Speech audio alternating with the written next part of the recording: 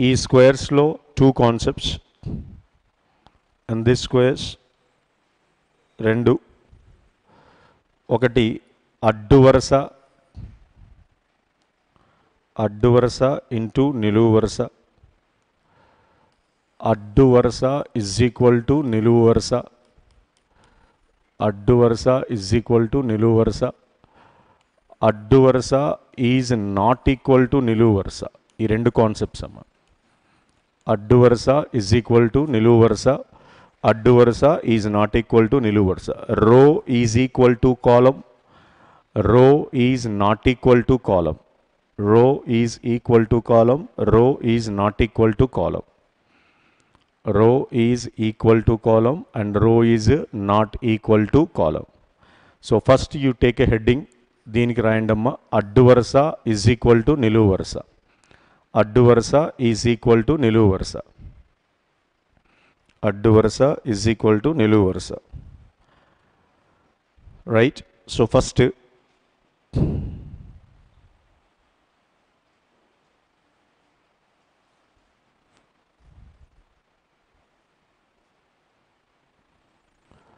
First క్రింది పటములో గల చతురస్రాలు ఎన్ని? యాజ్ ఈజ్ ఆ ఎగ్జాంపుల్ రాయడం క్రింది మా డయాగ్రామ్ కనపడుతుంది కదా? ఓకేనా? కనపడుతుందా? రైట్ యాజ్ ఈజ్ రాసేయండి. క్రింది పటములో గల చతురస్రాలు ఎన్ని? డయాగ్రామ్ యాజ్ ఇట్ ఈజ్ రాసేయండి.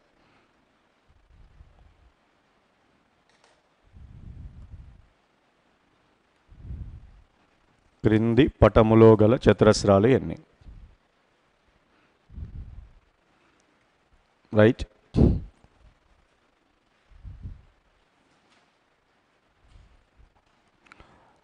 సో ఇప్పుడు ఇక్కడ మీరు జాగ్రత్తగా అబ్జర్వ్ చేస్తే ఆ డయాగ్రామ్ కూడా రావాలమ్మా. మొత్తం మీకు ఇచ్చిన పటములో నాలుగు అడ్డు వరుసలు ఉన్నాయి నాలుగు నిలువు వరుసలు ఉన్నాయండి నాలుగు అడ్డు వరుసలు నాలుగు నిలువు వరుసలు. నాలుగు అడ్డు వరుసలు నాలుగు నిలువు వరుసలు. రైట్ సో ఇంత ఇప్పుడు ఫస్ట్ మోడల్లో ఏమన్నాం మనం? అడ్డు వరుసలు నిలువు వరుసలు సమానంగా ఉంటే. సో ఇప్పుడు అడ్డు వరుసలు ఎన్ని ఉన్నాయి? నాలుగు ఉన్నాయి నిలువు వరుసలు కూడా ఎన్ని ఉన్నాయి నాలుగు ఉన్నాయి సో ఇప్పుడు ఐదు అడ్డు వరుసలు ఐదు నిలువు వరుసలు ఉన్న ఆరు అడ్డు వరుసలు ఆరు నిలువు వరుసలు ఉన్న. సో రెగ్యులర్గా ఎస్ఏలో ఎక్కువ సార్లు రిపీట్ అయిన క్వశ్చన్ ఇదేనమ్మా. ఎస్ఏలో ఎక్కువసార్లు రిపీట్ అయిన క్వశ్చన్ ఇదే. నాలుగు బై నాలుగు. సో ఇలా ఉన్నప్పుడు మీకు ఎన్నైతే అడ్డు వరుసలు ఉన్నాయో ఆ మొత్తాన్ని వర్గము చేసి కలపండమ్మా. One square two square three square four square. ఒకవేళ ఫైవ్ వరకు ఉంటే ఫైవ్ కలపండి సిక్స్ వరకు ఉంటే సిక్స్ కలపండి. సో వన్ స్క్వేర్ ఎంత? One two square four three square nine four square sixteen. Sixteen plus four twenty. Nine plus one ten. Twenty plus one thirty. కాబట్టి మొత్తము చతురస్రాల సంఖ్య ఎంతకు సమానం అవుతుంది? ముప్పైకి సమానం అవుతుంది. రాయండమ్మ. One square two square diagram తీసుకొని వీటికి నెంబర్ రాయండి. One two three four. నాలుగు అడ్డు వరుసలు నాలుగు నిలువు వరుసలు. నాలుగు అడ్డు వరుసలు నాలుగు నిలువు వరుసలు. One square two square three square four square. Right? One four nine sixteen. So ఆ వర్గాల మొత్తము ఏదైతే ఉందో అది మనకి సమానం అవుతుంది. సో దీనికి మీరు ఇంకొంచెం ముందుకు వెళ్తే అంటే బేసిక్గా మనకి త్రీ బై త్రీ మూడు అడ్డు వరుసలు మూడు నిలువు వరుసలు నాలుగు అడ్డు వరుసలు నాలుగు నిలువు వరుసలే అడిగారమ్మ. ఒకవేళ ఎక్కువగా అడిగితే ఇంతవరకు ఎప్పుడు అడగలేదు. పది అడ్డు వరుసలు పది నిలువు వరుసలు ఇచ్చి చతురస్రాల సంఖ్య అడిగితే అప్పుడు మనం చేయాల్సింది ఏంటిది ఒకటి రెండు మూడు వరుసగా రాద్దామా? ఫార్ములా ఏంటిది? సహజ సంఖ్యల వర్గాల మొత్తము. N into n plus one into two n plus one by six. N into n plus one into two n plus one by six. ఇప్పటివరకైతే అడిగిన ఎగ్జామ్ ప్రకారం తీసుకుంటే మూడు బై మూడు నాలుగు బై నాలుగు దగ్గరే ఆగిందమ్మా. సో ఐదు బై ఐదు రాలేదు ఆరు బై ఆరు రాలేదు. ఒకవేళ అడిగితే అప్పుడు మనం వాడాల్సిన ఫార్ములా ఏంటిది? N into n plus two into n plus one into two n plus one by six. రాయండి ఒకసారి. వరుస సహజ సంఖ్యల వర్గాల మొత్తము. సహజ సంఖ్యల వర్గాల మొత్తము ఈజ్ ఈక్వల్ టు సహజ సంఖ్యల వర్గాల మొత్తము ఈజ్ ఈక్వల్ టు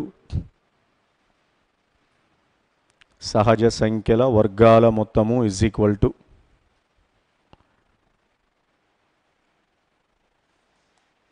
సహజ సంఖ్యల వర్గాల మొత్తము is equal to n into n plus two sorry n plus one into two n plus one by six n into n plus one into two n plus one by six ఏది ఎప్పుడు మీకు అడిగితే ఒకవేళ అడగలేదనుకోండమ్మా అక్కడికి ఆపేయవచ్చు so నాలుగు అడ్డు వరుసలు నాలుగు నిలువు వరుసలు ఉంటే మొత్తం చతురస్రాల సంఖ్య ఎంతకు సమానం? ముప్పై. ఎంత? ముప్పై. సో నెక్స్ట్ ఒక క్వశ్చన్ రాయండి. మూడు అడ్డు వరుసలు మూడు నిలువు వరుసలతోటమ్మ మూడు అడ్డు వరుసలు మూడు నిలువు వరుసలు.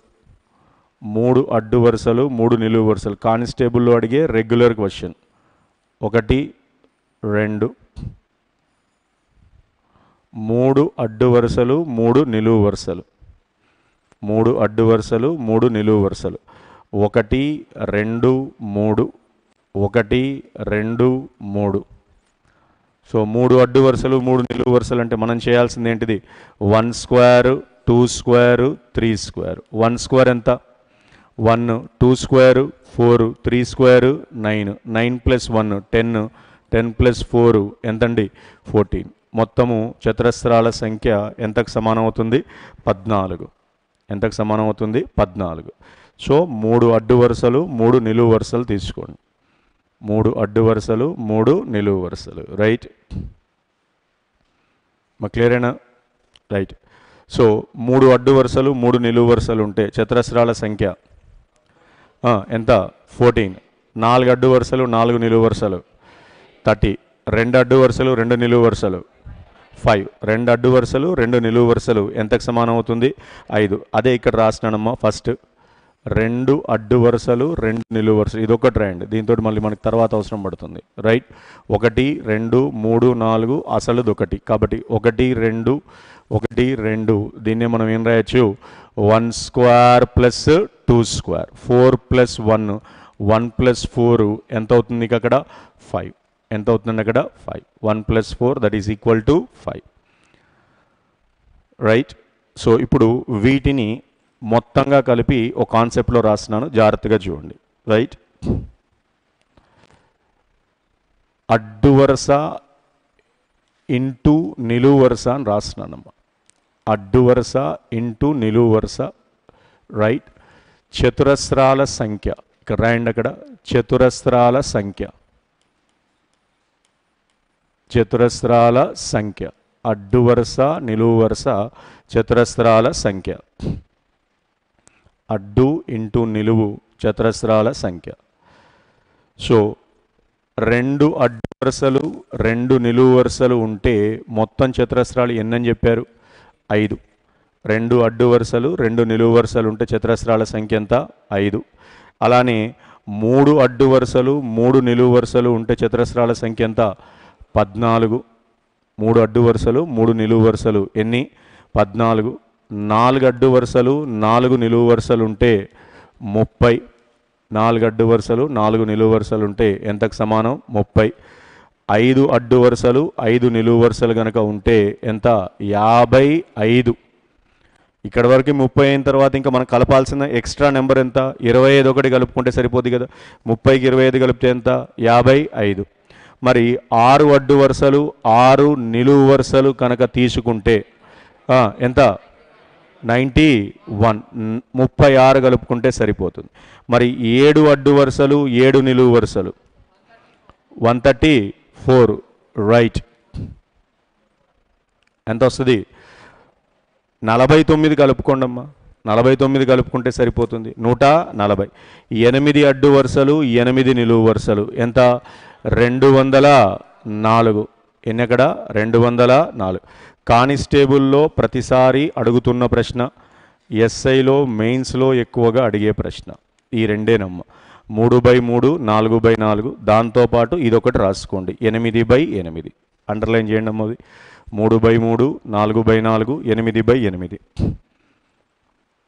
మూడు బై మూడు నాలుగు బై నాలుగు ఎనిమిది బై ఎనిమిది.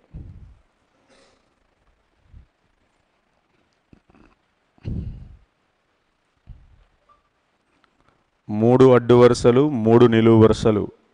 పద్నాలుగు నాలుగు అడ్డు వరుసలు నాలుగు నిలువు వరుసలు. ముప్పై ఐదు అడ్డు వరుసలు ఐదు నిలువు వరుసలు యాభై ఐదు. రైట్. క్లియరేనా ఈ ప్రశ్నని రాయండమ్మ తెలుగులో. ఎనిమిది ఎనిమిది ఎప్పుడు వాడతాడు? చదరంగపు గల్ల ఆధారముగా చదరంగపు గల్ల ఆధారముగా ఏర్పడే చతురస్రాల సంఖ్య. చదరంగపు గల్ల ఆధారముగా ఏర్పడే చతురస్రాల సంఖ్య. చదరంగపు గల్లలో గల గడులు ఎన్ని అని అడగట్లేదండి. చదరంగపు ఆటలో గల గడులు ఎన్ని? చదరంగపు ఆటలో గల గడులు ఎన్ని అంటే ఎనిమిది అడ్డు వరుసలు ఎనిమిది నిలువు వరుసలు ఉంటాయి కాబట్టి ఎనిమిది ఎనిమిదిలు అరవై నాలుగు అక్కడ సరిపోతుంది. కానీ ఇక్కడ అడిగింది చదరంగపు ఆటలో గల గడులు అని అడగట్లా. మనం ఏం అడుగుతున్నాం? చదరంగపు ఆటలో గల్ల ఆధారంగా ఏర్పడే చతురస్రాల సంఖ్య. సో చదరంగపు ఆటలో ఎన్ని అడ్డు వరుసలు ఉంటాయి? ఎనిమిది అడ్డు వరుసలు ఎన్ని నిలువు వరుసలు? ఎనిమిది నిలువు వరుసలు. ఎనిమిది ఇంటూ ఎనిమిది కాబట్టి ఎంత? రెండు వందల నాలుగు. రాయండమ్మ. చదరంగపు ఆటలో చదరంగపు ఆటలో ఎనిమిది అడ్డు వరుసలు మరియు ఎనిమిది నిలువు వరుసలు కలవు. చదరంగపు ఆటలో ఎనిమిది అడ్డు వరుసలు మరియు ఎనిమిది నిలువు వరుసలు కలవు. ఎనిమిది అడ్డు వరుసలు ఎనిమిది నిలువు వరుసలు కలవు. ఎనిమిది అడ్డు వరుసలు ఎనిమిది నిలువు వరుసలు. ఎనిమిది ఇంటూ ఎనిమిది రెండు వందల నాలుగు వీలైతే బ్రాకెట్లో one square plus two square plus three square up to eight square వరకు రాసుకోండి. సో సమానంగా ఉన్న అడ్డు వరుసలు నిలువు వరుసలో మాత్రం మీరు ఎక్కువ గుర్తుపెట్టుకోవాల్సింది ఈ రెండు నెంబర్లమ్మ. మూడు అడ్డు వరుసలు మూడు నిలువు వరుసలు ఉంటే ఎన్ని? పద్నాలుగు. నాలుగు అడ్డు వరుసలు నాలుగు నిలువు వరుసలు ఉంటే ఎన్ని? ముప్పై. రైట్? నెక్స్ట్ రెండో కాన్సెప్ట్. సో నెక్స్ట్ దానికి వెళ్ళే ముందు రెండో కాన్సెప్ట్ రాయండమ్మ అడ్డు వరుసలు నాట్ ఈక్వల్ టు నిలువు వరుసలు. రెండో కాన్సెప్ట్ రాయండి. అడ్డు వరుసలు నాట్ ఈక్వల్ టు నిలువు వరుసలమ్మ. అడ్డు వరుసలు నాట్ ఈక్వల్ టు నిలువు వరుసలు.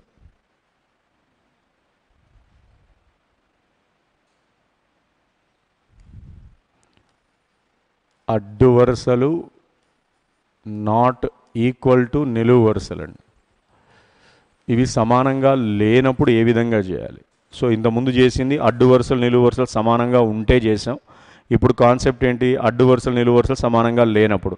సో ఇప్పుడు ఈ క్వశ్చన్ రాయండి. క్రింది పటములో గల చతురస్రాలు ఎన్ని? యాజ్ ఇట్ ఈస్ ఒకటి రెండు మూడు నాలుగు. నాలుగు అడ్డు వరుసలు. ఒకటి రెండు మూడు నాలుగు ఐదు. ఐదు నిలువు వరుసలతోటి డయాగ్రామ్ వేయండి. నాలుగు అడ్డు వరుసలు ఐదు నిలువు వరుసలతోటి డయాగ్రామ్ డ్రా చేయండి. అడ్డు వరుసలు నాలుగు ఉండాలి నిలువు వరుసలు ఐదు ఉండాలి. ఒకవేళ ఎక్కువ వచ్చినా వదిలేయండి. మన దాని ప్రకారం మీరు చేసుకుంటూ వెళ్తే సరిపోతుంది. కాన్సెప్ట్ మాత్రమే ఇంపార్టెంట్. క్వశ్చన్ యాసిస్ రావాలని రావాలని ఏం లేదు అక్కడ. నాలుగు అడ్డు వరుసలు ఐదు నిలువు వరుసలు.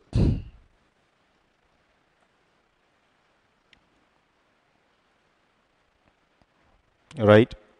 మా రెడ్ కలర్ క్లియర్ కనపడుతుందా? రైట్. బెటర్ అదే తీసుకుంటాను.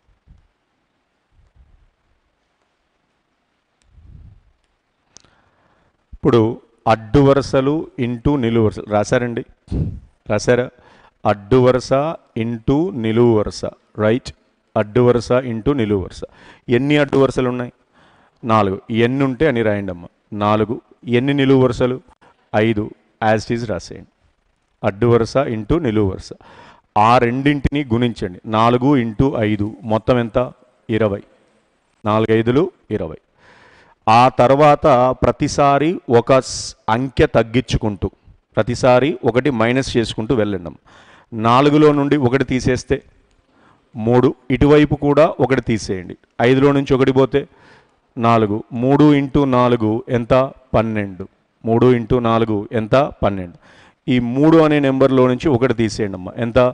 రెండు. నాలుగులో నుంచి ఒకటి తీసేయండి. ఎంత? మూడు. రెండు మూళ్ళు. ఆరు. అలా ఎక్కడి వరకు వెళ్ళాలి?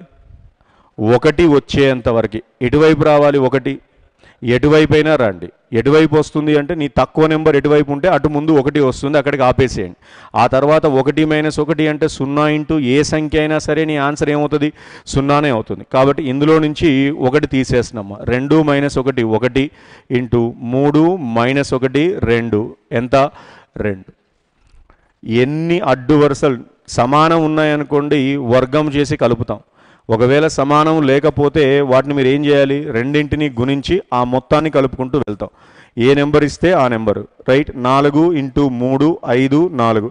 సో మొత్తం గనక లెక్కిస్తే మొత్తం లెక్కించినప్పుడు ఇరవై పన్నెండు ఆరు రెండు. ఆరు రెండు ఎనిమిది. ఎనిమిది రెండు పది. రెండు మూడు నాలుగు. మొత్తం ఏర్పడే చతురస్రాలు ఎన్ని మనకు అక్కడ? నలభై. రాయండమ్మ. అడ్డు ఇంటూ నిలువు. నాలుగు అడ్డు వరుసలు ఐదు నిలువు వరుసలు. అడ్డు ఇంటూ నిలువు. నాలుగు అడ్డు వరుసలు ఐదు నిలువు వరుసలు.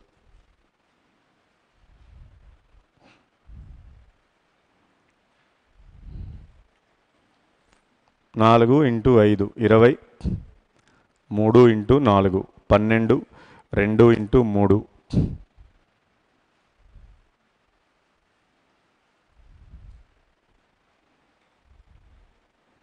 సో అడ్డు వరుసలు నిలువు వరుసలు సమానంగా లేనప్పుడు ఏం చేయాలి?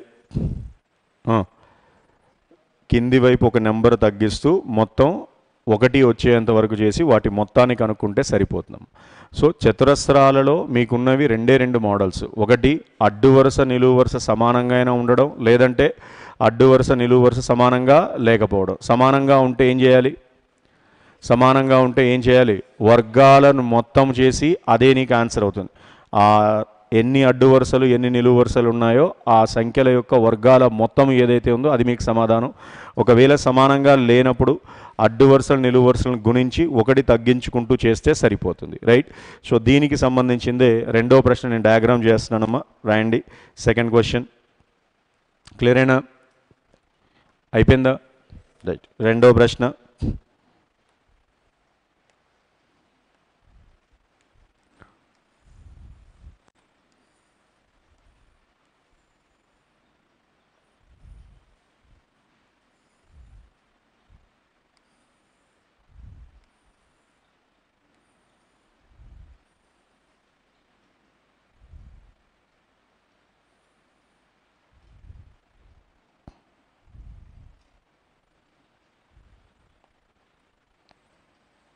రైట్.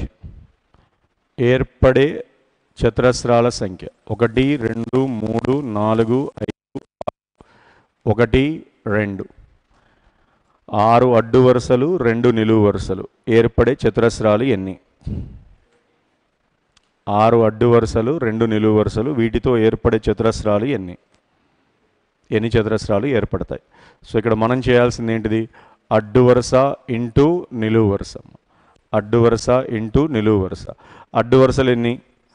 ఆరు. నిలువు వరుసలు ఎన్ని? రెండు. ఆరు రెండ్లు పన్నెండు. తర్వాత ఒకటి మైనస్ చేయండి అమ్మ. ఐదు. ఇందులో నుంచి ఒకటి మైనస్ చేయండి. ఐదు ఇంటూ ఒకటి ఎంత? ఐదు. కాబట్టి మొత్తం చతురస్రాలు ఎన్ని మనకి? పదిహేడు. మొత్తం ఏర్పడే చతురస్రాలు ఎన్ని తీసుకుంటాం అక్కడ? పదిహేడు మాత్రమే. అవే మనకి ఆన్సర్ అవుతుంది. రైట్ క్లియర్ అయినా సో చతురస్రాలలో రెండు కాన్సెప్ట్స్ అడ్డు వరుసలు నిలువు వరుసలు సమానంగా ఉండడము. రెండవది అడ్డు వరుసలు నిలువు వరుసలు సమానంగా లేకపోవడము. రైట్ నెక్స్ట్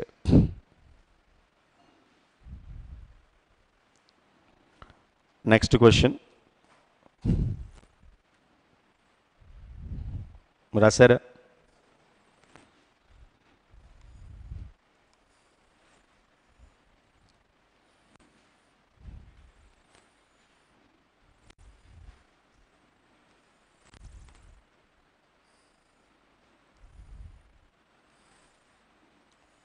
ఏర్పడే చతురస్రాలు ఎన్ని?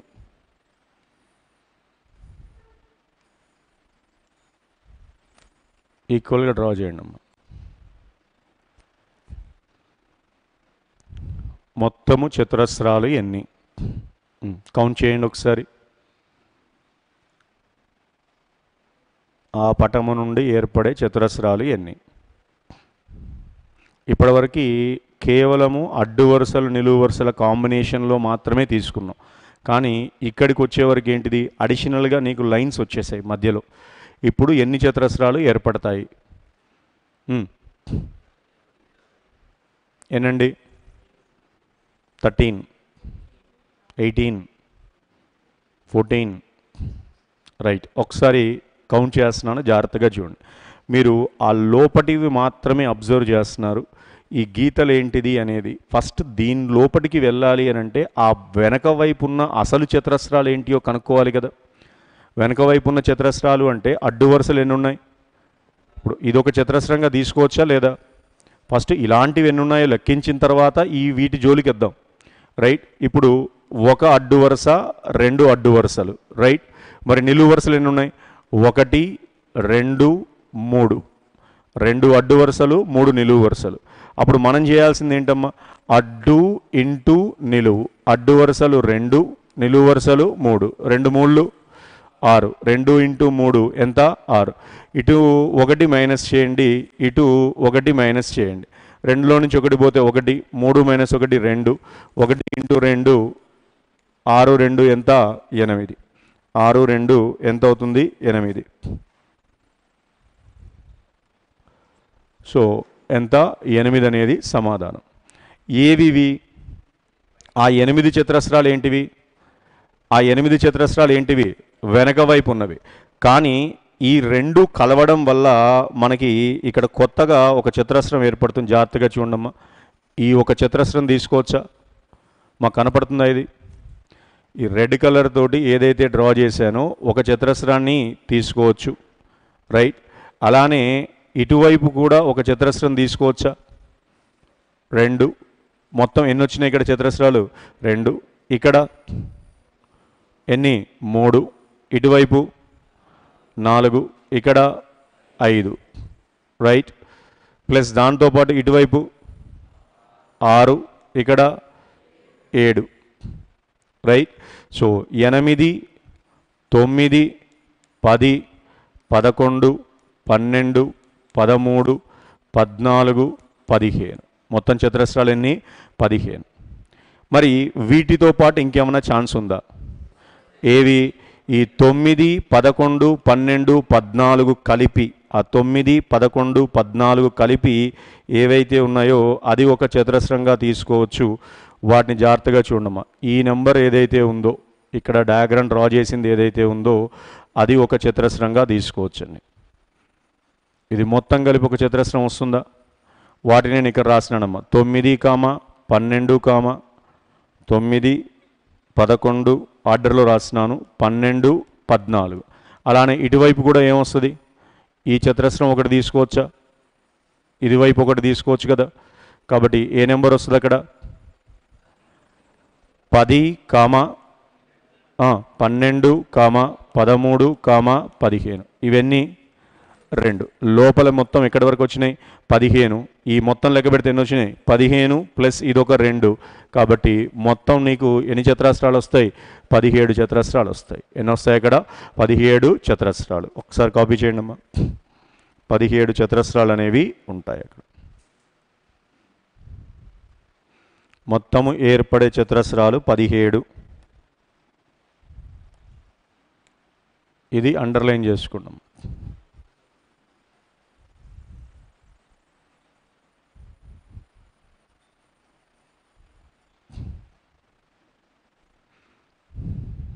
ఈ ఇండివిజువల్గా రెండు తొమ్మిది పది పదకొండు పన్నెండు పదమూడు పద్నాలుగు పదిహేను ఎనిమిది ఇవి పదిహేను పదహారు ఇది ఒకటి పదహారు ఇది పదిహేడు. మొత్తం మనకి ఎన్ని చతురస్రాలు వస్తాయి?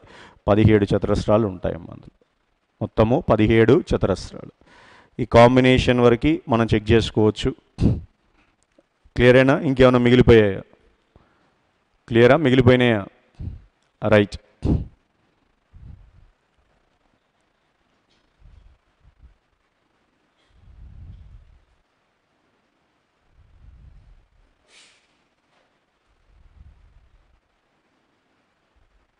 దీర్ఘ చతురస్రాలు నెక్స్ట్ హెడ్డింగ్ పెట్టండి అమ్మా దీర్ఘ చతురస్రాలు రెక్టాంగిల్స్ దీర్ఘ చతురస్రాలు. దీర్ఘ చతురస్రాలు. రైట్ సో డయాగ్రామ్ తీసుకుండేది. దీర్ఘ చతురస్రాలు.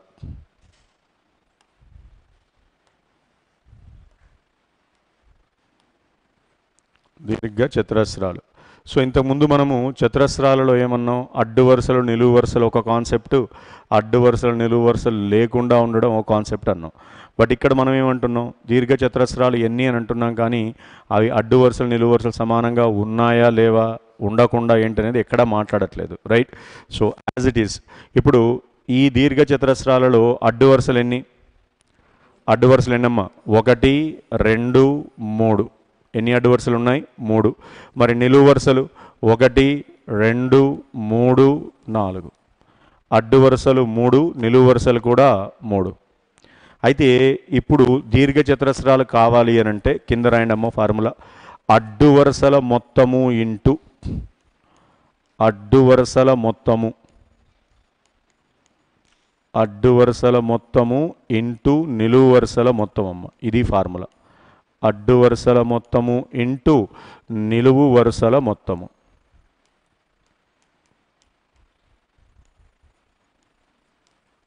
అడ్డు వరుసల మొత్తము ఇంటూ నిలువు వరుసల మొత్తము. ఇప్పుడు ఎన్ని అడ్డు వరుసలు ఉన్నాయి?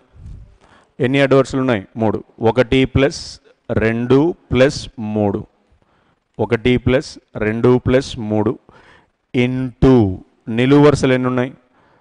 ఒకటి ప్లస్ రెండు ప్లస్ మూడు ప్లస్ నాలుగు. అంతేనమ్మా. అడ్డు వరుసలు మూడు. ఒకటి రెండు మూడు. నిలువు వరుసలు ఎన్ని? ఒకటి రెండు మూడు నాలుగు. వాటి మొత్తము ఇంటూ నిలువు వరుసల మొత్తం. మూడు రెండు ఐదు ఒకటి ఆరు ఇంటూ నాలుగు మూడు ఏడు మూడు పది. మొత్తం దీర్ఘ చతురస్రాలు ఎన్ని ఉంటాయి ఇక్కడ? అరవై. మొత్తం దీర్ఘ చతురస్రాలు ఎన్ని ఇక్కడ అరవై. ర్యాండమ్ అది మొత్తము దీర్ఘ చతురస్రాలు అరవై. రైట్ సో దీర్ఘ చతురస్రాల మీద వచ్చినప్పుడు మీరు గుర్తుపెట్టుకోవాల్సింది ఇది ఒకటి అడ్డు వరుసల మొత్తము ఇంటూ నిలువు వరుసల మొత్తము. ఫార్ములా ఏంటి అక్కడ? అడ్డు వరుసల మొత్తము ఇంటూ నిలువు వరుసల మొత్తము. Right is that clear right next same concept next ఒకటి తీసుకోండి. కంప్లీట్ చేయండి ఇది. పటములో కల దీర్ఘ చతురస్రాలు ఎన్ని? నెక్స్ట్ క్వశ్చన్ పటములో కల దీర్ఘ చతురస్రాలు ఎన్ని? పటములో కల దీర్ఘ చతురస్రాలు ఎన్ని? సో ఎన్ని అడ్డు వరుసలు? రెండు. ఇక్కడ మూడు నిలువు వరుసలు. ఇది మిమ్మల్ని కన్ఫ్యూజ్ చేయడానికి ఇచ్చింది అక్కడ. అది మనం దీని మీద కాన్సన్ట్రేట్ చేస్తామో ఇది కన్ఫ్యూజ్ చేయడానికి దాంతో మనకి ఏ విధమైన బొమ్మ ఏర్పడడానికి ఛాన్స్ లేదు. కాబట్టి అడ్డు వరుసలు రెండు నిలువు వరుసలు మూడు. అడ్డు వరుసల మొత్తము ఇంటూ నిలువు వరుసల మొత్తము. చేయండి ఒకసారి. అడ్డు వరుసల మొత్తము ఇంటూ నిలువు వరుసల మొత్తము. అడ్డు వరుసల మొత్తము అంటే ఒకటి ప్లస్ రెండు ఇంటూ ఒకటి ప్లస్ రెండు ప్లస్ మూడు. ఒకటి ప్లస్ రెండు ఇంటూ ఒకటి ప్లస్ రెండు ప్లస్ మూడు. ఒకటి ప్లస్ రెండు ఎంత? మూడు ఇంటూ మూడు రెండు ఐదు ఒకటి ఆరు. మూడు రెండు ఐదు ఒకటి ఆరు. మొత్తం దీర్ఘ చతురస్రాలు ఎన్ని ఉంటాయి ఇక్కడ పద్దెనిమిది. మొత్తం దీర్ఘచతురస్రాలు ఎన్ని? పద్దెనిమిది. దీర్ఘచతురస్రాల్లో ఉన్న ఒకే ఒక కాన్సెప్ట్ అమ్మ. అడ్డు వరుసల మొత్తము ఇంటూ నిలువు వరుసల మొత్తము. ఏంటా కాన్సెప్ట్? అడ్డు వరుసల మొత్తము ఇంటూ నిలువు వరుసల మొత్తము. రైట్? సో ఒకటి రెండు మూడు ఒకటి రెండు మూడు. మొత్తం ఆరు మూడార్లు పద్దెనిమిది. Right so same concept next త్రిభుజాలు అని రాయండి. నెక్స్ట్ కాన్సెప్ట్ త్రిభుజాలు. త్రిభుజాలు. త్రిభుజాలు.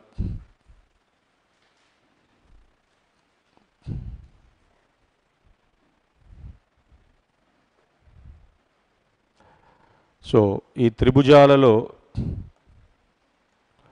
ఫస్ట్ ఈ పాయింట్ తీసుకుంటున్నాను. ఇది స్టార్ మార్క్ పెట్టండి. రైట్ ఫస్ట్ పాయింట్ త్రిభుజం డ్రా చేసి ఈ మధ్యలో ఈ విధంగా కట్ చేయండి. మొత్తం త్రిభుజాలు ఎన్ని?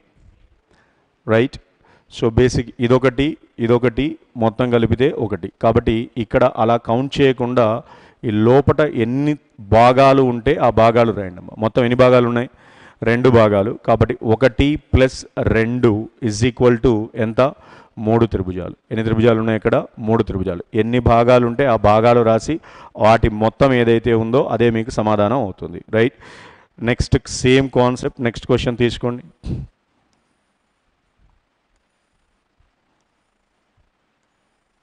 రైట్ రాయండి అమ్మది నెక్స్ట్.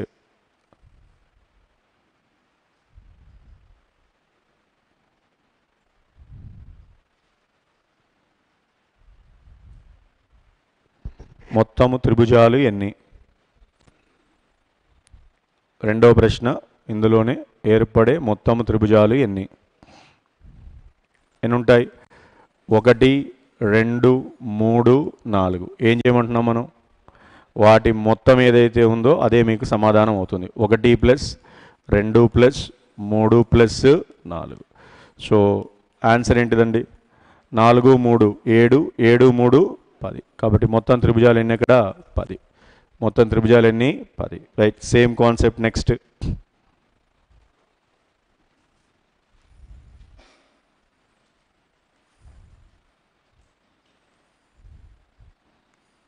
Same question ఇది ఒకసారి కంప్లీట్ చేయండి.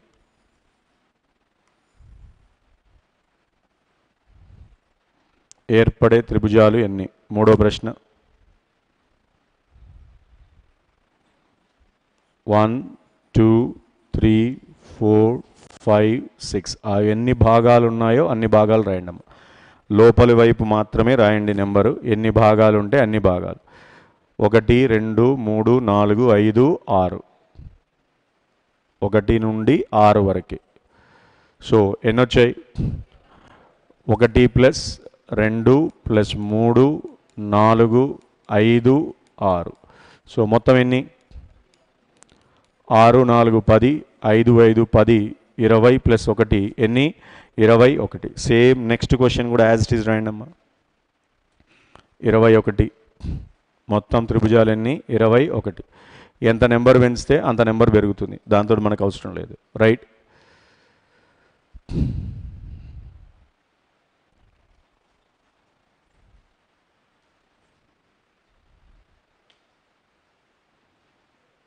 క్లియర్ అయినా నెక్స్ట్ అమ్మ. రెండో ప్రశ్న. ఇది యాస్టీస్ డ్రా చేయండి. ఇక్కడ కంటిన్యూషన్ ఇలా కట్ చేయండి అమ్మ. మూడు భాగాలు చేయండి. ఈ విధంగా ఇచ్చాడు అనుకోండి. అదే ప్రశ్నను చేసి మూడు భాగాలు చేసాడు అనుకోండి. అందులోనే కట్ చేయకుండా నెక్స్ట్ ఇంకో క్వశ్చన్ తీసుకోండి. మొత్తం మూడు భాగాలు. మూడు భాగాలు చేసాడు అనుకోండి. ఇందులో ఏర్పడే త్రిభుజాలు ఎన్ని? ఏర్పడే త్రిభుజాలు ఎన్ని? ఒకటి రెండు మూడు నాలుగు ఐదు ఆరు.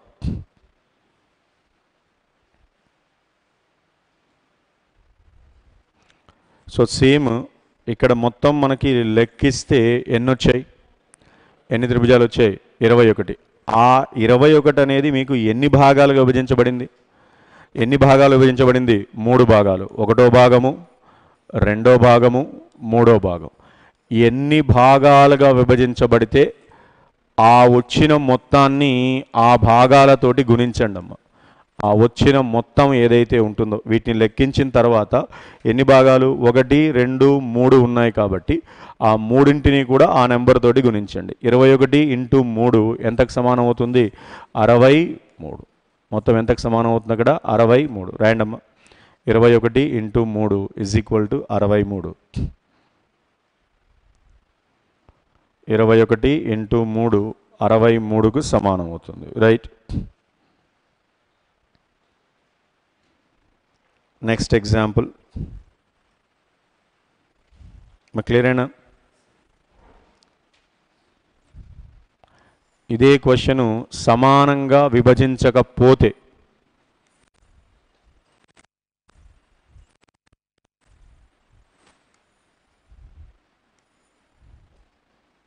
ఒకటి రెండు మూడు నాలుగు ఐదు ఆరు. వ్యాసిస్ రాశాను. మళ్ళీ మూడో క్వశ్చన్ తీసుకోండి. ఒకటి నుండి ఆరు వరకు ఆరు భాగాలు. ఇది మధ్యలో తీసుకోండి. అటుపక్క రెండు భాగాలు ఇటుపక్క రెండు భాగాలు కట్ చేయండి.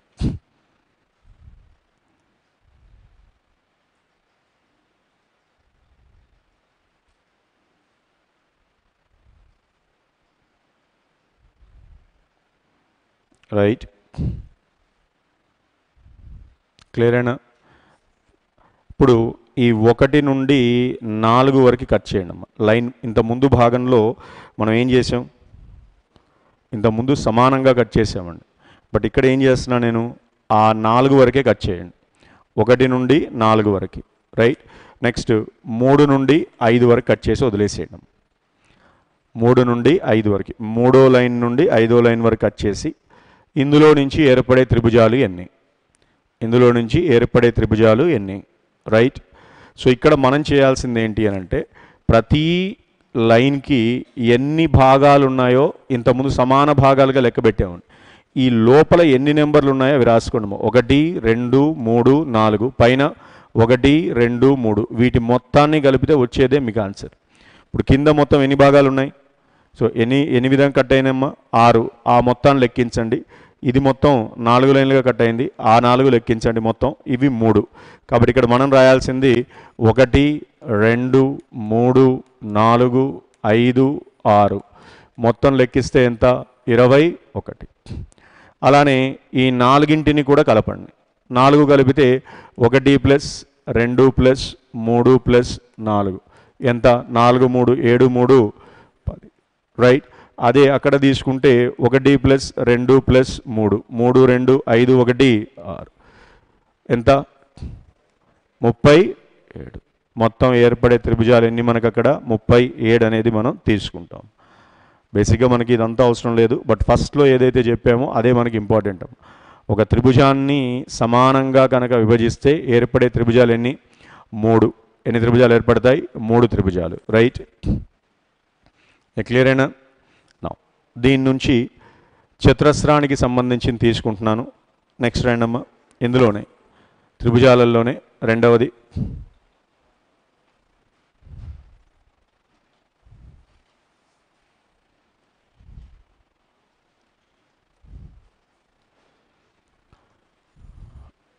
ఒక చతురస్రాన్ని నాలుగు భాగాలు చేశారనుకోండి ఇందులో ఏర్పడే త్రిభుజాలు ఎన్ని? రాయండి ఒకసారి. దీనికి కూడా స్టార్ మార్క్ పెట్టండి. దానికి కూడా స్టార్ మార్క్ పెట్టండి అమ్మా. ఏర్పడే త్రిభుజాలు ఎన్ని?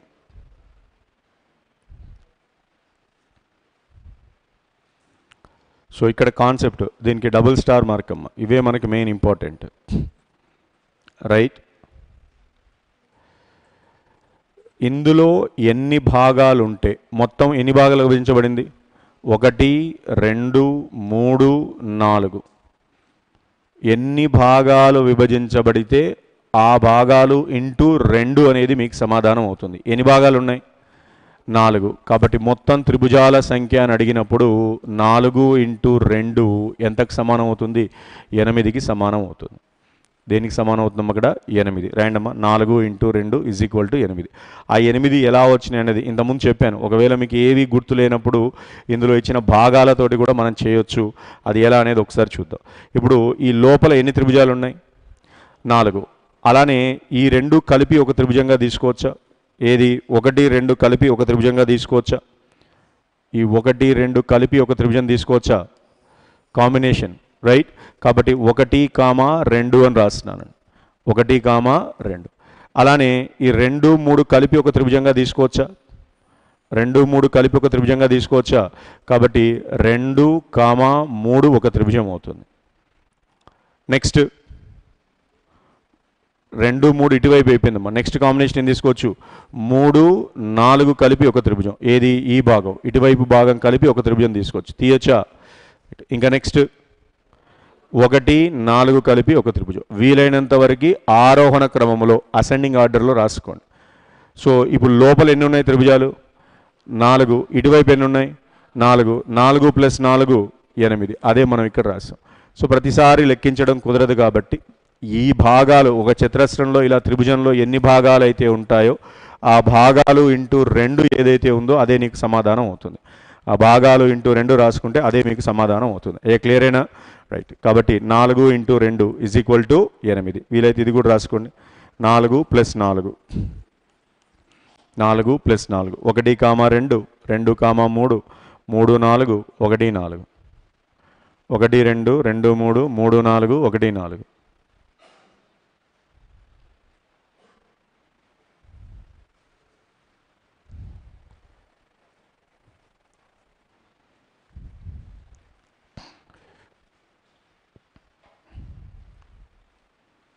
మాకు క్లియర్ అయినా రైట్ ఒకసారి క్వశ్చన్ చేయండి ఇది పటములో గల త్రిభుజములు ఎన్ని? పటములో గల త్రిభుజములు ఎన్ని? పటములో గల త్రిభుజములు ఎన్ని? చతురస్రాన్ని అలా భాగాలు విభజించినప్పుడు ఎన్నైతే ముక్కలు ఏర్పడతాయో అదే నీకు త్రిభుజం అవుతుంది ఎన్ని ఉంటాయి అందులో? సిక్స్టీన్. ఎన్ని త్రిభుజాలు ఉంటాయి అక్కడ?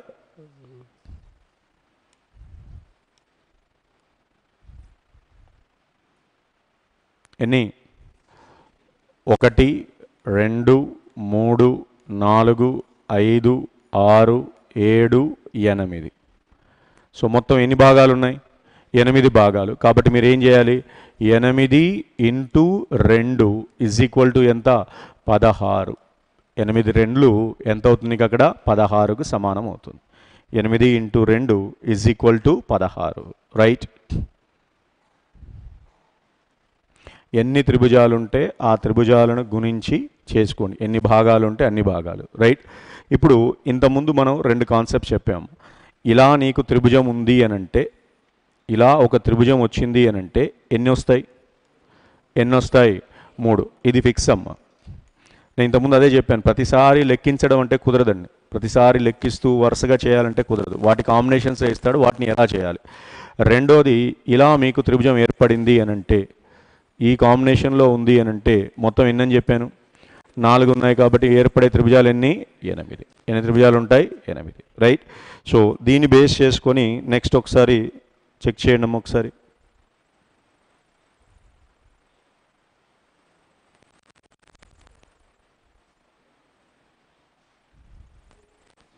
రైట్.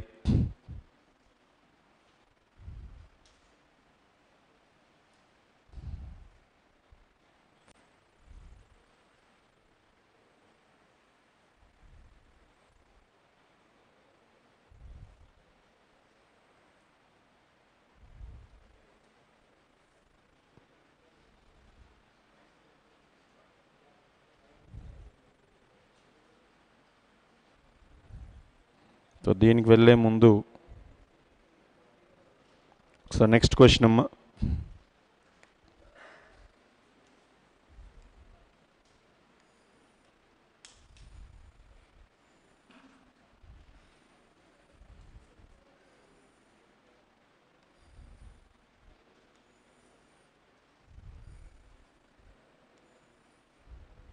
రైట్ ఏర్పడే త్రిభుజాలు.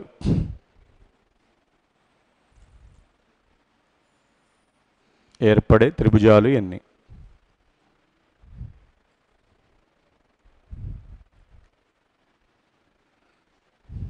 మొత్తం ఏర్పడే త్రిభుజాలు.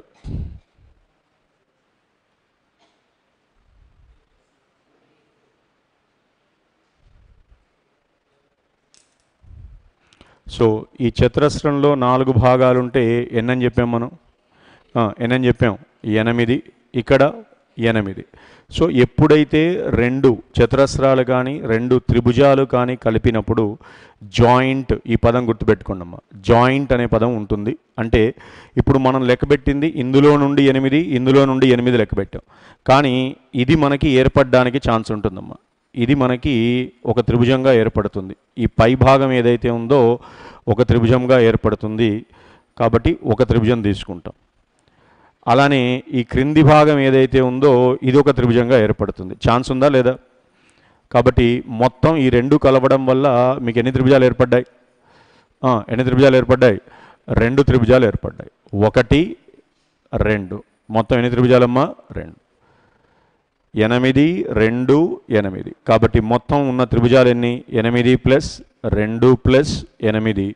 మొత్తం ఏర్పడే త్రిభుజాలు పద్దెనిమిది. ఎన్ని త్రిభుజాలు ఏర్పడతాయి అక్కడ పద్దెనిమిది. రాయండి. ఎనిమిది ఎనిమిది జాయింట్ అనే పదం రాసుకోండి. తెలుగులో రాసుకున్నా పర్లేదు. జాయింట్. జాయింట్ రెండు కలిపినప్పుడు నీకు ఏర్పడే త్రిభుజాలు రెండు. పదహారు ప్లస్ రెండు మొత్తం ఎన్ని? పద్దెనిమిది. పదహారు రెండు పద్దెనిమిది. రైట్?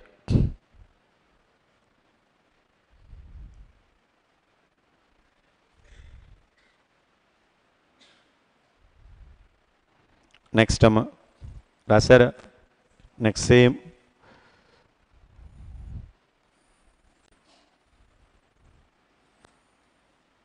ఇది లాస్ట్ టైం ఇచ్చిన క్వశ్చన్ అండి. కాకపోతే రివర్స్లో ఇచ్చాడు ఇలా నిలువుగా నేను ఇలా అడ్డంగా తీసుకుంటున్నాను.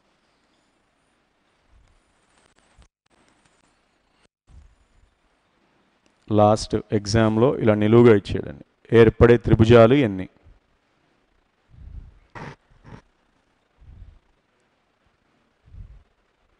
మొత్తం ఎన్ని త్రిభుజాలు ఉంటాయి?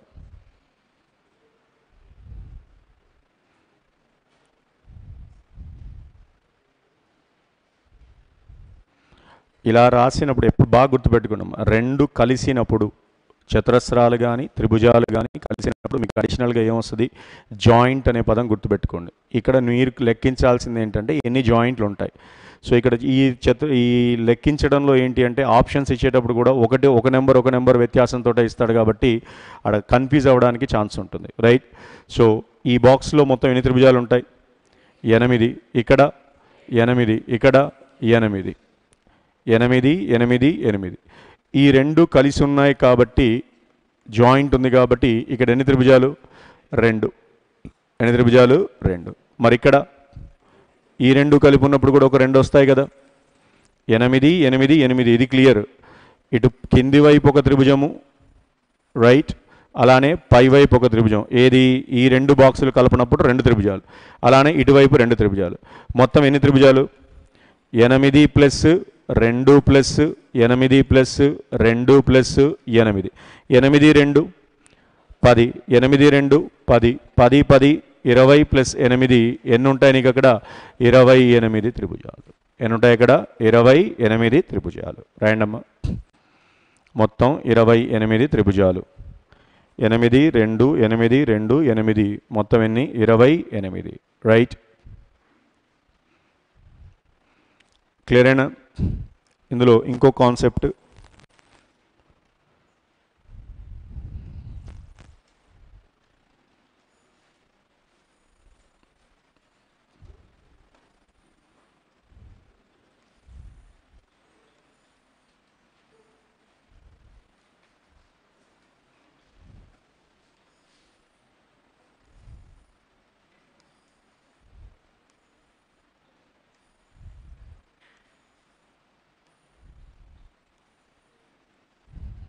ఇందులో మొత్తం త్రిభుజాలు ఎన్ని?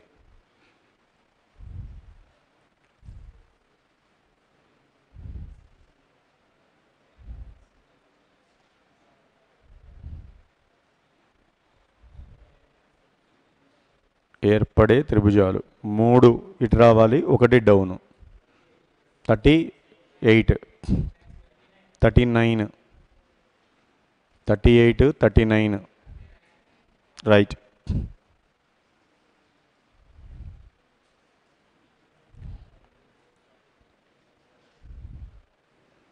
ఏర్పడే త్రిభుజాలు. మా డయాగ్రామ్ డ్రా చేశారా?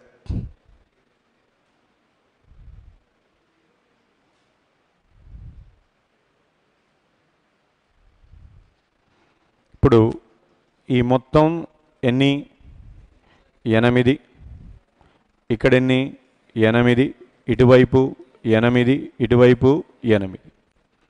ఎనిమిది ఎనిమిది ఎనిమిది ఎనిమిది. క్లియరేనా ఇక పోతే ఈ రెండు కలిసి ఉన్నాయి కాబట్టి ఈ రెండు కలిపి ఉన్నాయి కాబట్టి జాయింట్ కాబట్టి ఎన్ని? రెండు. కింది వైపు ఒకటి పై వైపు ఒకటి. ప్లస్ ఈ రెండు కలిసి ఉన్నాయి కాబట్టి ఈ పై వైపు రెండు. ఈ రెండు కలిసినప్పుడు ఇటువైపు ఒక త్రిభుజము ఇటువైపు ఒక త్రిభుజం ఏర్పడుతుంది కదా కాబట్టి ఎన్ని వస్తాయి? రెండు. ఈ రెండు చతురస్రాలు కలిపినప్పుడు ఏర్పడేవి రెండు త్రిభుజాలు ఈ రెండు చతురస్రాలు కలిపినప్పుడు ఏర్పడేవి రెండు త్రిభుజాలు ఈ రెండు కలిపినప్పుడు ఏర్పడేవి రెండు త్రిభుజాలు. కానీ ఎప్పుడైతే ఈ మూడు త్రిభుజాలు మూడు చతురస్రాలు కలవడం వల్ల ఒక పెద్ద త్రిభుజం అనేది ఏర్పడుతుంది ఇది మీరు అబ్జర్వ్ చేస్తే సరిపోతుందమ్మా. ఇది ఒక త్రిభుజంగా మనకి కనబడుతుంది. రైట్ సో ఒక త్రిభుజం అనేది మనం ఇక్కడ లెక్కించవచ్చు. అయ్యా క్లియర్ అయినా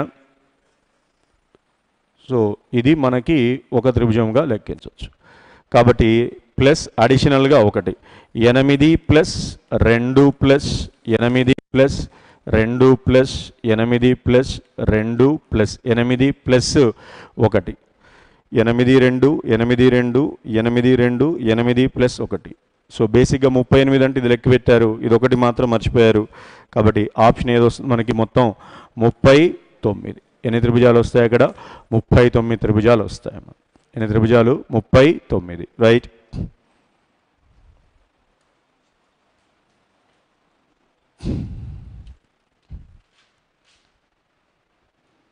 మా క్లియరేనా నెక్స్ట్ దీనికి సంబంధించిందే.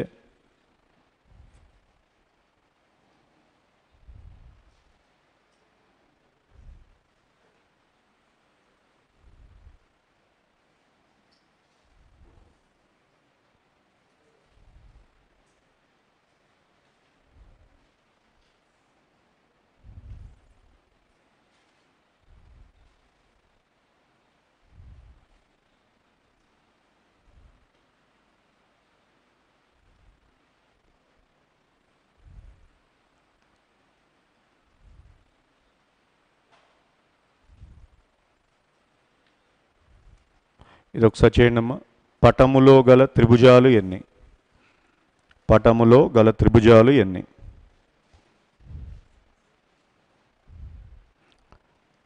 మొత్తం ఎన్ని ఉంటాయి? బేసిక్గా వాటికి ఆప్షన్స్ ఉన్నాయమ్మా. మీరు ఆప్షన్ చూసి ఏదో ఒకటి చేస్తారని చెప్పి ఆప్షన్స్ కూడా తీసుకురాలా. మొత్తం ఎన్ని త్రిభుజాలు ఉంటాయి?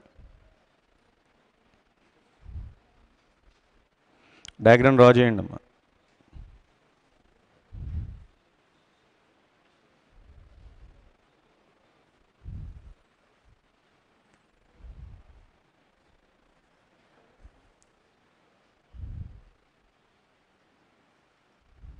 NHI 21, 17, 13,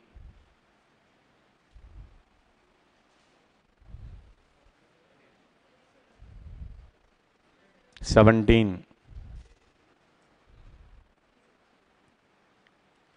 Whatever it is, right? So దీన్ని బేసిక్గా లెక్కించడం అనేది కుదరదండి. మనం ఇండివిజువల్గా ఒకటి రెండు మూడు అనేది కుదరదు. ఇందులో మీకు చతురస్రానికి సంబంధించిన త్రిభుజాలు ఉన్నాయి. త్రిభుజానికి సంబంధించిన త్రిభుజాలు రెండు సపరేట్. ఈ భాగాన్ని సపరేటు ఈ భాగాన్ని సపరేట్ కనుక చూశారనుకోండి ఇప్పుడు ఒక చతురస్రం ఏదైతే ఉందో ఈ విధంగా ఉందనుకోండి అమ్మా ఈ విధంగా ఒక చతురస్రం తీసుకొని దాన్ని ఎన్ని భాగాలు చేసాం ఇక్కడ మనం? ఆరు భాగాలు చేసామమ్మా. మొత్తం ఆరు భాగాలు అయింది. ఒకటి రెండు మూడు నాలుగు ఐదు ఆరు భాగాలు అయింది. ఆరు భాగాలు ఉంటే ఏర్పడే త్రిభుజాలు ఎన్ని? ఆరు భాగాలు ఉంటే ఏర్పడే త్రిభుజాలు ఎన్ని? పన్నెండు. ఆరు ఇంటూ రెండు ఇజ్ ఈక్వల్ టు ఎంత? పన్నెండు. ఆరు ఇంటూ రెండు ఎన్ని వస్తాయి పన్నెండు. అలానే ఎప్పుడైతే మీకు ఇలా ఒక త్రిభుజం ఉందో ఎన్ని వస్తాయని చెప్పాం? ఇలా ఒక త్రిభుజం ఉంటే ఎన్ని వస్తాయి మూడు. సో అదే ఇక్కడ మీకు యాడ్ చేశారండి. ఇది ఒకటి యాడ్ చేశారు. ఇందులో నుంచి ఎన్ని వస్తాయి మూడు. ఎన్ని త్రిభుజాలు వస్తాయి? మూడు. సో మూడు ప్లస్ పన్నెండు ఎంత? పదిహేను. కానీ ఎప్పుడైతే ఇలా రెండు కలిసాయో అలా రెండు కలిసినప్పుడు ఏం చెక్ చేసుకోమన్నాను? జాయింట్స్ ఏర్పడడానికి ఛాన్స్ ఉంటుంది. వాటిని ఒకసారి జాగ్రత్తగా గమనించమని చెప్పాను. అంటే ఇప్పుడు ఇది మనకు ఏర్పడడానికి ఛాన్స్ ఉందా? ఈ జాయింట్ ఏదైతే ఉందో ఇటు ఒక త్రిభుజం ఈ రెండు కలిపి ఎటువైపు పై వైపు ఒకటి అలానే ఇటు కింది వైపు ఒక త్రిభుజం ఏర్పడడానికి ఛాన్స్ ఉంటుంది. కాబట్టి ఇది ఒకటి. ఎన్ని త్రిభుజాలు వచ్చినాయి ఇక్కడ? రెండు. ఎన్ని వచ్చినాయి? రెండు. సో మూడు ప్లస్ పన్నెండు ప్లస్ రెండు. మొత్తం కలిపితే ఎన్ని? కాబట్టి మొత్తం త్రిభుజాలు ఎన్ని వస్తాయి ఇక్కడ? పన్నెండు. మొత్తం త్రిభుజాలు ఎన్ని ఉంటాయి? పదిహేడు. ఇరవై ఒకటి ఎలా వచ్చాయి అబ్బా? మధ్యలో నువ్వు అడిషనల్గా ఏడో లైన్ వేసుకున్నావు అంతే. ఎయిట్ పార్ట్స్ వేసుకోండి అదే నేను అదే అన్నాను. ఇరవై ఒకటి అనగానే మీరేం చేశారు అని అంటే ఈ టోటల్ని ఎయిట్ పార్ట్స్ వేసుకున్నారు. కన్ఫ్యూజన్ ఏం లేదమ్మా మీరు ఇరవై ఒకటి చెప్పగానే నాకు క్లారిటీ వచ్చింది. ఎయిట్ టూ జా సిక్స్టీన్ సిక్స్టీన్ ప్లస్ ఇదొక త్రీ ఎంత? నైన్టీన్ అదొక రెండు కలిపారు. ఇరవై ఒకటి అన్నారు. బట్ ఇక్కడ లైన్ అనేది యాడ్ అవ్వలేదు. రైట్ సో జాగ్రత్తగా చూడమ్మా. Six into two twelve plus two మొత్తం కలిపితే ఎన్ని? సెవెంటీన్ ఎన్ని వస్తాయి సెవెంటీన్. రైట్ నెక్స్ట్ అమ్మ. పిరమిడ్ త్రిభుజాలు అని రాయండి. నెక్స్ట్ హెడింగ్ పిరమిడ్ త్రిభుజాలు. పిరమిడ్ త్రిభుజాలు. పిరమిడ్ త్రిభుజాలు. పిరమిడ్ త్రిభుజాలు. రైట్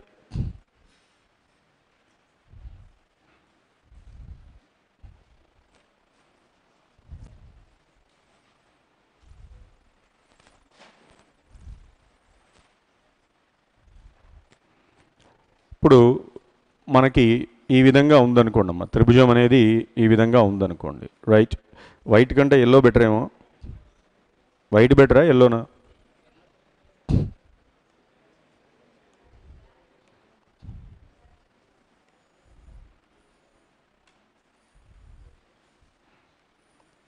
ఈ విధంగా ఉన్నాయనుకోండి అమ్మా. ఎన్ని త్రిభుజాలు ఉంటాయి? స్టార్ మార్క్ పెట్టండి ఇది. ఎన్ని త్రిభుజాలు ఉంటాయి? One two three four అసలుదొకటి five right? One two three four and దాంతోపాటు ఫైవ్. టోటల్ మనకు వచ్చే త్రిభుజాలు ఎన్ని ఫైవ్. రాయండి ఒకసారి.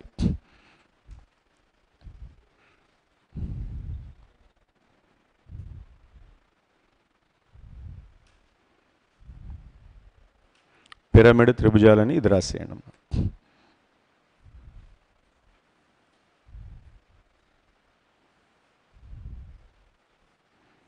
Right next ah. ఈ బొమ్మ దీని పరిస్థితి ఏంది? Hmm.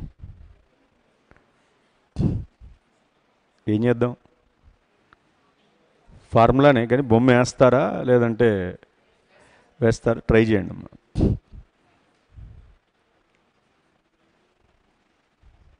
క్రింది పటములో గల త్రిభుజాలు ఎన్ని? క్రింది పటములో గల త్రిభుజాలు ఎన్ని? లాస్ట్ ఇయర్ ఇచ్చిన క్వశ్చన్ అనుకుంటానమ్మా ఇది. ఇదే ఇచ్చారు last year.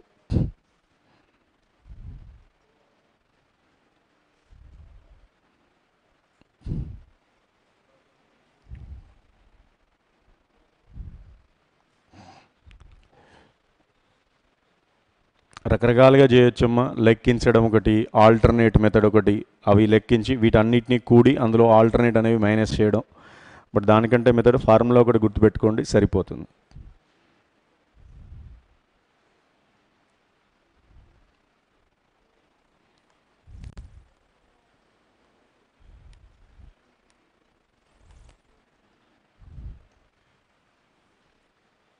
Right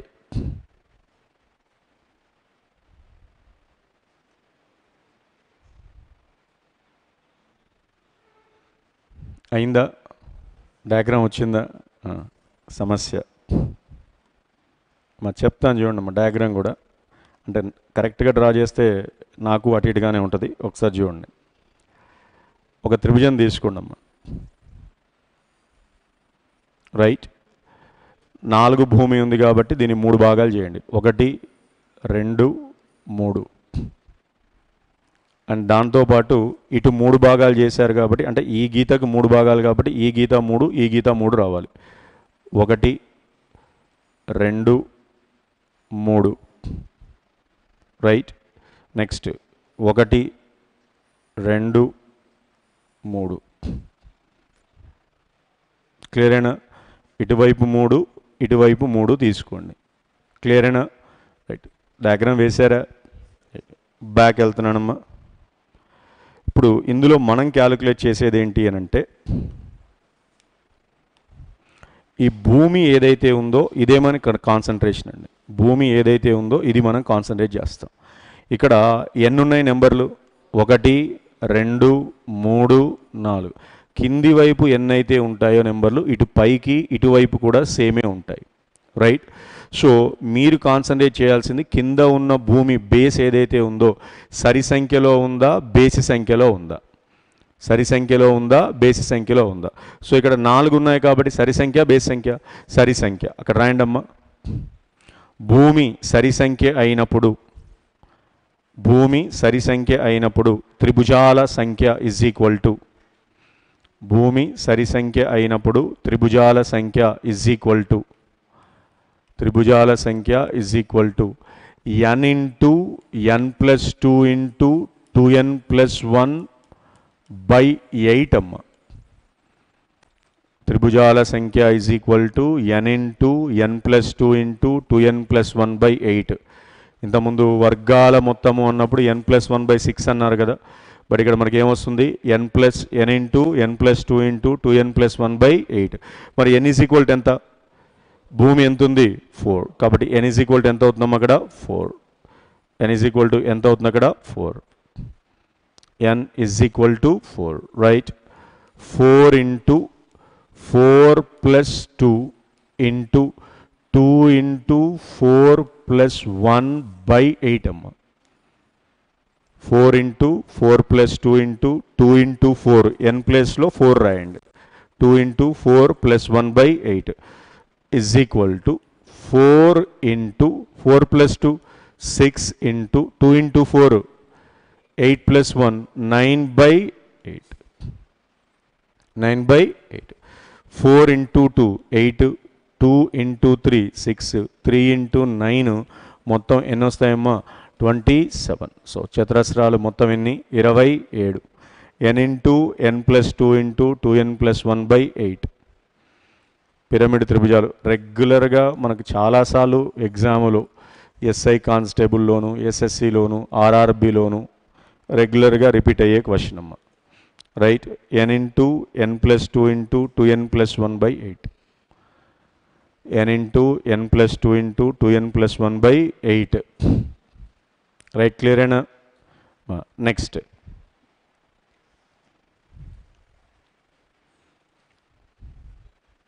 same concept రాశారా ఇప్పుడు భూమి సరి సంఖ్య అయితే మనం ఈ ఫార్ములా చెప్పాము. ఎప్పుడు సరి సంఖ్య అయినప్పుడు. మరి ఒకవేళ బేసి సంఖ్య అయితే భూమి బేసి సంఖ్య అయినప్పుడు ఈ క్వశ్చన్ తీసుకోండి డయాగ్రామ్ బేసి సంఖ్య అయితే ఇప్పుడు మీకు ఇక్కడ వన్ టూ త్రీ ఫోర్ సరి సంఖ్య ఉన్నప్పుడు మధ్యలో మూడు గీతలు వచ్చినాయి. ఇక్కడ బేస్ సంఖ్య కాబట్టి నాలుగు గీతలమ్మ. ఒకటి రెండు మూడు నాలుగు ఐదు. బేసి సంఖ్య అయితే ఇటువైపు లెక్క పెట్టిన ఐదే ఉంటాయి ఇటువైపు లెక్కించిన ఐదే ఉంటాయమ్మ. బేసి సంఖ్య ఉన్నప్పుడు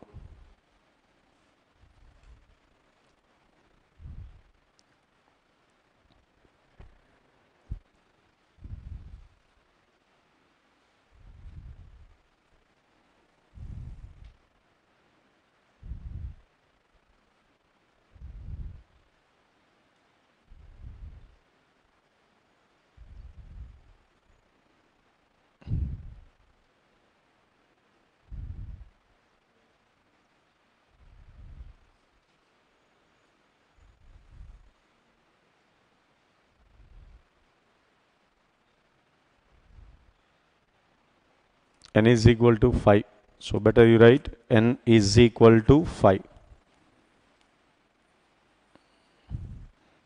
n is equal to 5 amma.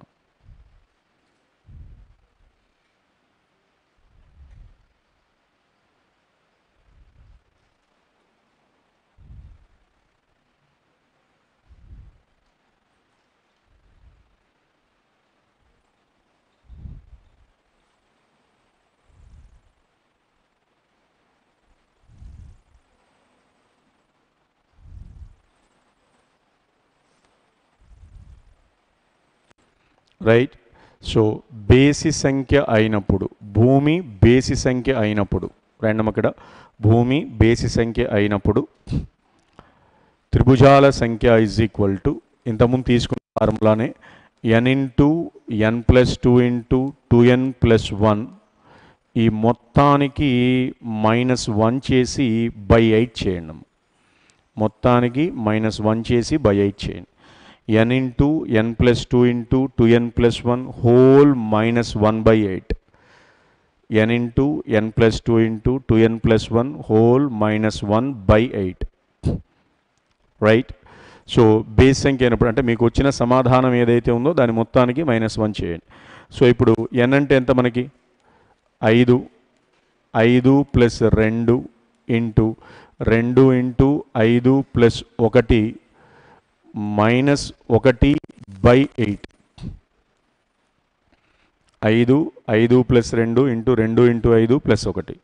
So ఐదు ఇంటూ ఏడు ఇంటూ పదకొండు మైనస్ వన్ బై ఎయిట్ అమ్మ. రైట్ ఏడైదులు ముప్పై ఐదు ఇంటూ పదకొండు. ఎంత? మూడు వందల ఎనభై ఐదు. మూడు వందల ఎనభై ఐదు. మూడు వందల ఎనభై ఐదు మైనస్ ఒకటి బై ఎనిమిది. అంటే ఏమొస్తుంది అక్కడ మనకి? మూడు వందల ఎనభై నాలుగు బై ఎనిమిది అమ్మ. ఎంత వచ్చింది మొత్తం? నలభై ఎనిమిది. మొత్తం ఎంత వస్తుంది అక్కడ? నలభై ఎనిమిది. నాలుగు ఎనిమిదిలు ముప్పై రెండు ఎనిమిది ఎనిమిదిలు అరవై నాలుగు. మొత్తం ఏర్పడే త్రిభుజాలు నలభై ఎనిమిది. సో సరి సంఖ్య అయితే formula n into n plus two into two n plus one by eight బేసి సంఖ్య ఒక నెంబరు మైనస్లో ఉంటుంది కాబట్టి అక్కడ minus one రాసాము. N into n plus two into two n plus one whole minus one by eight. N into n plus two into two n plus one whole minus one by eight.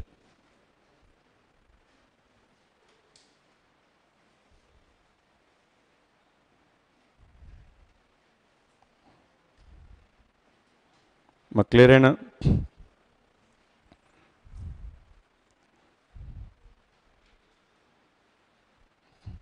మా next ఇప్పుడు ఇదేం diagram వద్దు కానీ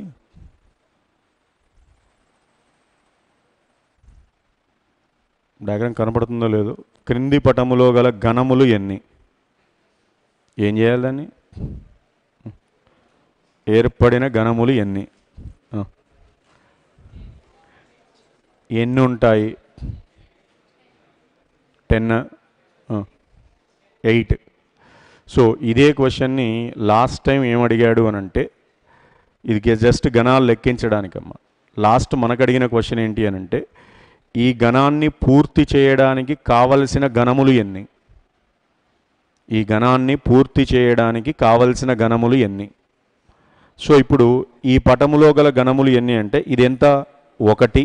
ఇక్కడ ఒకటి ఇక్కడ ఒకటి. ఈ క్రింది భాగంలో ఒక్కొక్క గణం ఉందమ్మా. మరి దీని పైన ఉంది అని అంటే ఇవి మొత్తం ఎన్ని గణాలు అవుతాయి? ఒక గణమా రెండు గణాలా రెండు గణాలు ఇక్కడికి వచ్చేవరకు రెండు గణాలు కాబట్టి ఇక్కడ రెండు గణాలు ఇక్కడ రెండు గణాలు ఇది ఇంకా పైన ఉంది కాబట్టి దీని కింద ఆల్రెడీ రెండు ఉంటేనే కదా పైన ఉండేది. కాబట్టి ఇక్కడ ఎన్ని? మూడు గణాలు ఉంటాయి. ఇందులో నుంచి వచ్చే మొత్తం గణాలు ఎన్నమ్మా? మూడు. ఇక్కడ నుంచి వచ్చేవి రెండు ప్లస్ రెండు. ఎన్ని?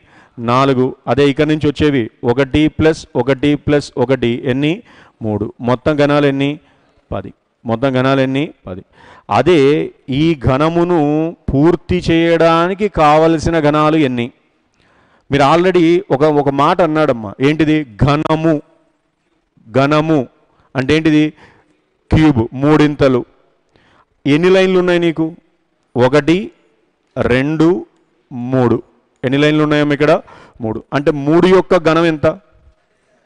మూడు యొక్క ఘనం ఎంత అండి ట్వంటీ సెవెన్. త్రీ క్యూబ్ ఎంత? Twenty seven. అంటే అందులో ఉండాల్సిన గణాలు ఎన్ని? అందులో ఉండాల్సిన గణాలు ఎన్ని? ఇరవై ఏడు. మరి నీ దగ్గర ఎన్ని ఉన్నాయి?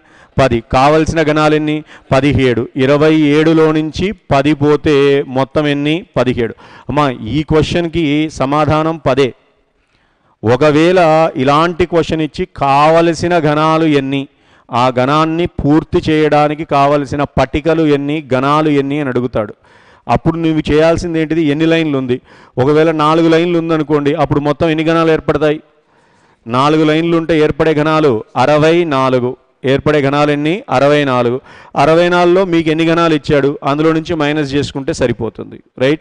అరవై నాలుగులో నుంచి ఉన్న మొత్తం నెంబర్ని మైనస్ చేసుకొని ఏదైతే వచ్చిందో అది లాస్ట్ ఇయర్ ఇచ్చిన క్వశ్చన్ అదమ్మ. ఫస్ట్ మీరు ప్రీవియస్ ఇయర్ క్వశ్చన్స్ మన టెక్స్ట్ బుక్ ఓపెన్ చేస్తే అది బేసిక్గా గణాలు లెక్క పెడతారు. అందులో బ్యాడ్ లక్ ఏంటంటే పదిహేడు ఇచ్చారు అందులో ఆన్సర్.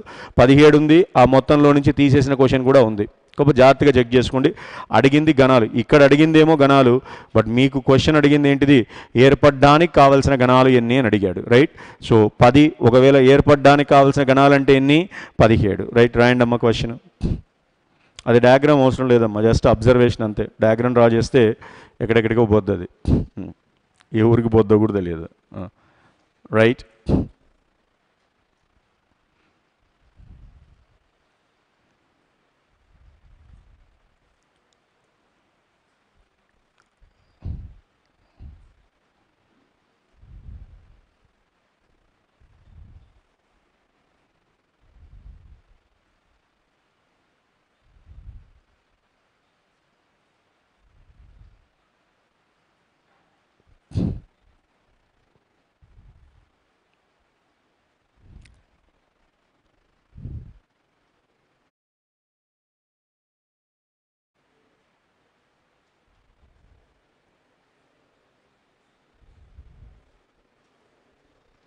మా రాశారా?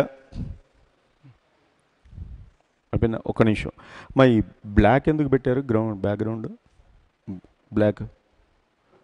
బ్యాక్గ్రౌండ్ బ్లాకే పెట్టారు. బ్లాక్ అయితేనే కనపడుతుందా? లైటింగ్ ఉందా? ఇప్పుడు white red కనపడట్లేదా? White red blue. కనపడుతుందా? మరి ఇదే పెడితే అయిపోతుంది. అంటే నాకు ప్రతిసారి కలర్ మార్చుకోవడం ఇబ్బందిగా ఉంది. ఓకేనా? బ్యాక్గ్రౌండ్ ఒకసారి బ్లాక్ స్లైడ్స్ మారుస్తే పోతాయా? మళ్ళీ పెడదాం స్లైడ్స్ ఫ్రీయేగా. ఒకసారి చూడండి బ్యాక్గ్రౌండ్.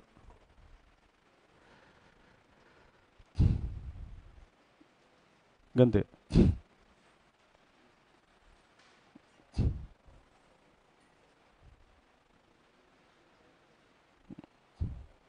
ఒక్క నిమిషం. మా కనబడుతున్నాయి కదా? మా డౌట్ ఉన్న వాళ్ళు చెప్పండి ఇబ్బంది ఏం లేదు. మళ్ళీ ఇదేంటి బ్యాక్గ్రౌండ్ రాలేదు? ఆ ఒక్కదానికే వచ్చిందా? ఈ ఒక్కదానికే వచ్చిందా? ఆ. ఒక్కదానికే వచ్చింది రైట్ సో ఒకసారి ఇది క్లోజ్ చేసి బ్యాక్గ్రౌండ్ పెట్టి ఆ- స్లైడ్స్ తీసుకుంటే సరిపోతుంది. ఒకసారి పెట్టేసి. మా వైట్ ఓకే కదా? వైట్లో నేను కలర్ మార్చుకుంటా. ఆ బ్లాక్ రెడ్ ఏదో ఒకటి. మీకు భయంకరమైన కలర్స్ ఉన్నాయి అందులో వాడేస్తా. ఇబ్బంది ఏమీ లేదు. రైట్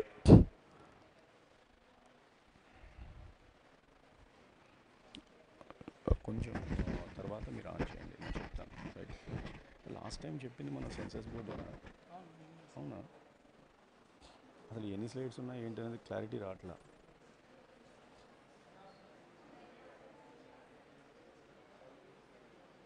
వైట్ పెట్టేసేయండి. ఇందులో ఇక్కడ ఉందిలేండి ఇక్కడ ఆపరేట్ చేయొచ్చు. మోరు మోరు నేను కలర్స్ మార్చుకుంటాను. రైట్ ఇప్పుడు అప్లోడ్ చేయాలి కదా.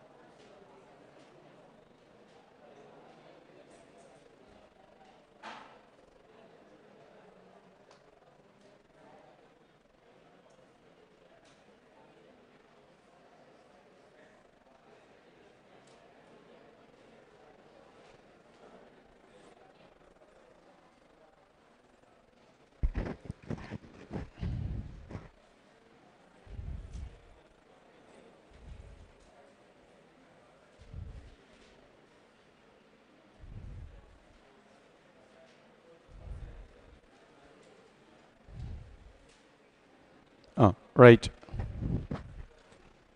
ఒక్క ఫైవ్ మినిట్స్ నేను కొంచెం పర్సనల్గా మాట్లాడతాను.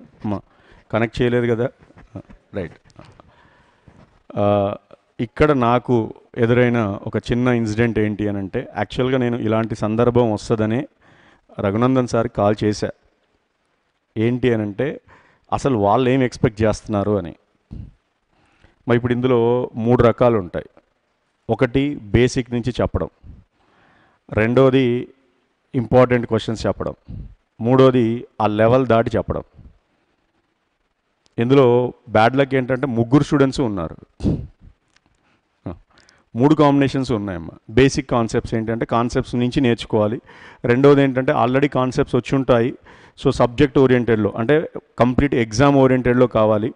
మూడోది ఏంటి అంటే ఎగ్జామ్ కూడా కాదు సార్ ఇంకా ఏదో ఎక్స్పెక్ట్ చేసి అంటే ఇంకేమైనా ఇస్తాడేమో అన్న భయంతో నేర్చుకునేది ఉంటుంది. సో ఈ ఒక్క డౌట్ తోటే నిన్న కాల్ చేశా. నిన్న ఒక స్టూడెంట్ కూడా మాట్లాడారు. నేను ఎక్కడో ఉన్నాను ఆ అబ్బాయి ఎవరు మాట్లాడింది? నువ్వేనా? అనేదో ఏదో నెంబర్ సిరీస్ నెంబర్ అనాలజీ అన్నాడు అక్కడ ఆగిపోయా నేను. ఆహా ఇది కాదులే. మీరేం కావాలనుకుంటున్నారమ్మా? పర్లేదు ఒక ఐదు నిమిషాలు. So what is your expectation clocks syllogism మనం వచ్చేటప్పుడు చెప్పాం కదబ్బా బోర్డును మూడు ముక్కలు చేయి. ఇటో ముక్క అటో ముక్క అటో ముక్క ఎవరి పార్ట్ వాళ్ళది. మా నెక్స్ట్ వీక్ కూడా నేను వస్తాను ఇబ్బంది ఏం లేదు. Cubes cuboid dice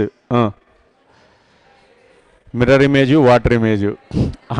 అమ్మ ఇప్పుడు నేను రాకముందు మీరేమన్నా మీటింగ్ పెట్టుకున్నారా? నాన్న ఒకవేళ సార్ అడుగుతాడు ఎలాగూ అందులో నలభై చాప్టర్లు ఉన్నాయి. మనం నలభై మంది ఉన్నాము. నా ఒక్కొక్కరు ఒక్కొక్క చాప్టర్ చెప్తే ఏం చేస్తాడో చూద్దామని. రైట్ సో పోనీ బేసిక్గా మీకు అడిగే డైలీ సండే పేపర్ రాస్తున్నారు కదా మిగతా సబ్జెక్ట్ నేను అడగడం పద్ధతి కాదు. నా వరకు వచ్చిన క్వశ్చన్స్లో అవి టిపికల్గా ఉన్నాయా ఆర్డినరీ ఉన్నాయా కొంచెం ఇబ్బందిగా ఉన్నాయా? ఆర్డినరీగా ఉన్నాయి. టిపికల్గా ఉన్నాయి. మీడియం ఉన్నాయి. ఒక్క రూమ్లో గిన్ని ఆప్షన్సా? ఒక రూమ్లో ఇన్ని ఆప్షన్స్. ఓకే ఎవరి థాట్ని బట్టి వాళ్ళు చెప్పారు. Okay no problem right. ఇప్పుడు నెంబర్ సిరీస్ తీసుకుంటానమ్మా. ఇబ్బంది లేదు. రైట్? సో నెంబర్ సిరీస్ రావాలి అని అంటే మనకు కొన్ని కాన్సెప్ట్స్ ఉన్నాయి. ఏంటివి? స్క్వేర్స్ క్యూబ్స్ పవర్స్ అవన్నీ కూడా. మరి వచ్చా రాలేదా రావాలా? వచ్చి రాలేదు. వచ్చి రాలేదు. రైట్ సో దాన్ని చెప్పే ముందు అంటే ఖచ్చితంగా ఇలానే ఉంటుందని చెప్పట్లేదు. బట్ నేను ఒకటి మాత్రం మీకు ఇంటి ఇవ్వగలనమ్మా. సో ప్రతిరోజు మనం లైవ్ క్లాస్ అనేది పెడుతున్నాం. మరి ఎంతమంది చూసారో లేదో ఒకసారి అయితే ప్ర ప్రశాంత్ సార్ పంపించారు. లైవ్ క్లాస్ పెట్టినప్పుడు మీరు క్వశ్చన్స్ చూస్తే ఈజీగా ఉన్నాయా హార్డ్గా ఉన్నాయా? ఈజీగా ఉన్నాయా హార్డ్గా ఉన్నాయా? ఈజీగానే ఉంటాయమ్మా. అది మేము సొంతంగా తయారు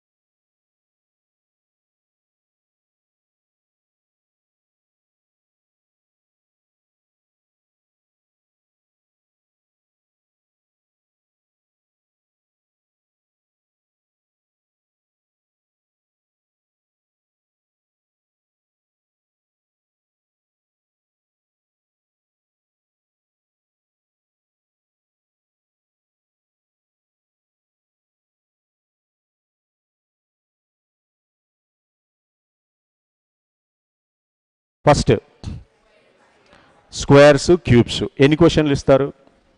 ఓ యాభై. ఐదు మార్కుల్లో మీరు ఎన్ని ఇస్తారు? ఎన్ని? వన్. వన్ కూడా ఈ క్వశ్చన్ ఇవ్వాలి అని అంటే ఒక క్వశ్చన్ రావాలి అని అంటే వేటి మీద రావాలి? వర్గాలు వర్గములు నెక్స్ట్.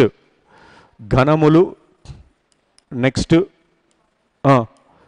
ఘాతములు. ఈ మూడు కలిపితే ఏదైనా ఒకటి కలిపి ఒక మార్క్ వస్తుందా? మూడు సపరేట్గా ఒక మార్కా? మూడిట్లో ఒక మార్క్. అయ్యా ఒప్పుకుంటారా? మూడిట్లో కలిపి ఒక మార్క్. రైట్? ఇందులో వేరియేషన్స్ ఏంటనేది తర్వాత చూద్దాం. ఒక క్వశ్చన్ అయిపోయిందమ్మా. రెండో క్వశ్చన్ తయారు చేయండి. భేదము. రెండో క్వశ్చను ఛాన్స్ ఏంటిది అక్కడ? భేదము. రైట్? మూడో క్వశ్చను లబ్ధము. మల్టిప్లికేషన్ అంటామమ్మా లబ్ధము. ఐదు క్వశ్చన్లో మూడు క్వశ్చన్లు అయిపోయాయి. ఇంకా రెండు క్వశ్చన్లు ఉన్నాయి. ప్రైమ్ నెంబర్స్ ప్రధాన సంఖ్యలు అనేది వస్తాయి. అది పక్కకు పెడుతున్నానమ్మా. దాని జోలికి వెళ్ళట్లా. ఇక నాలుగో క్వశ్చన్ ఐదో క్వశ్చన్ మీరు తయారు చేయాలి. ఆ ఐదు క్వశ్చన్లు అయిపోయిన ఇంతే వస్తుంది ఇంతకంటే ఎక్కువ రాదు. కాకపోతే ఇక్కడ మనం ఆలోచించాల్సింది ఇంకొక రెండు అంశాలు ఉన్నాయి. ఎక్కడెక్కడ ఆలోచించాలి ఏం చేయాలి అది మీరే చెప్తారు. నాకు సంబంధం ఏమీ లేదు. సో ఒకటి మీరేమంటున్నారు అని అంటే వర్గాలు గణాలు గాతాలు ఈ మూడింటిలో కలిపి ఒక క్వశ్చన్ ఇవ్వడానికి ఛాన్స్ ఉంది. రెండోది భేదములో ఒక క్వశ్చన్ ఇవ్వడానికి ఛాన్స్ ఉంది. ఇప్పుడు నా క్వశ్చన్ ఏంటి అని అంటే ఈ భేదము ఆ సంఖ్య భేదం వస్తే ఆ భేదం ఉంటుంది కదా వ్యత్యాసం ఉంటుంది కదా ఆ వ్యత్యాసంలో మీరు ఇప్పటివరకు చూసిన వ్యత్యాసాలు ఏమేమి ఉన్నాయి? ప్రైమ్ నెంబర్స్ ఉన్నాయి వర్గాలు ఉన్నాయి గణాలు ఉన్నాయి మల్టిప్లికేషన్స్ ఉన్నాయి ఇవన్నీ కలిపి ఏ క్వశ్చన్ వస్తుంది? ఇవన్నీ చెక్ చేసుకుంటే ఓ క్వశ్చన్ వస్తుంది. అది కరెక్టేనా కాదా? ఇక నెక్స్ట్ లబ్ధాలకు సంబంధించింది ఓ క్వశ్చన్. ఉంటే into two into three into four వరుసగా ఉండొచ్చు. లేదంటే ప్రధాన సంఖ్యలతో ఉండొచ్చు. లేదు అంటే సరి సంఖ్యల గుణి మల్టిప్లికేషన్ ఉండొచ్చు. లేదు అని అంటే గుణించి అదే సంఖ్యను కలపడం కానీ గుణించి అదే సంఖ్యను తీసివేయడం కానీ ఇవన్నీ కలపచ్చు. ఇవన్నీ కలిపితే ఒక మార్క్. వాటన్నిటిని ఎగ్జాంపుల్స్ తెచ్చానమ్మా. అవన్నీ చూద్దాం. మరి నాకు నాలుగు ఐదు ఏంటిది? ఒక క్వశ్చన్ మీరు ఎప్పుడు కన్ఫ్యూజ్ అయ్యేది నేను ఇక్కడ నాలుగో నెంబర్ రాస్తున్నానమ్మా ఇంగ్లీష్లోనే రాస్తున్నాను. ఆల్టర్నేట్ ఉంటుందా లేదా? ఆల్టర్నేట్ శ్రేణి. ఇది ఎప్పుడు చూడాలి?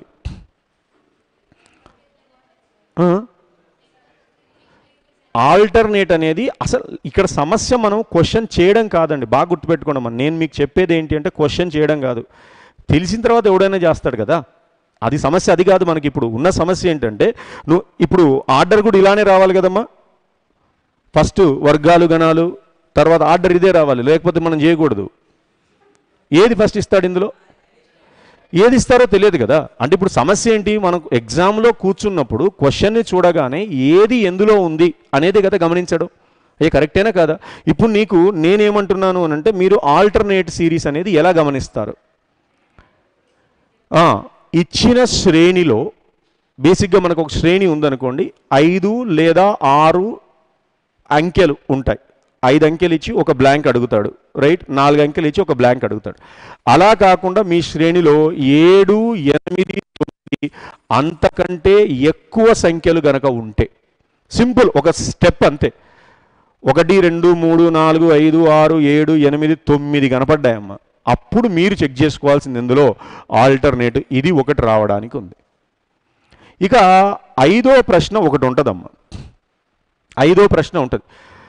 రకరకాలుగా ఆలోచించారు మీరు. వర్గాలల్లో చూశారు గణాలల్లో చూశారు భేదాలల్లో చూశారు ఇంకా ఆల్టర్నేట్ చూశారు ఎక్కడా రాలేదు. అప్పుడు మీరు చేయాల్సిన పని ఏంటిది హ్మ్? వదిలేయడం. అమ్మ ఇక్కడ నేను వదిలేయడం గురించి మాట్లాడట్లేదయ్యా. ఆ మోడల్ ఏమై ఉంటుంది?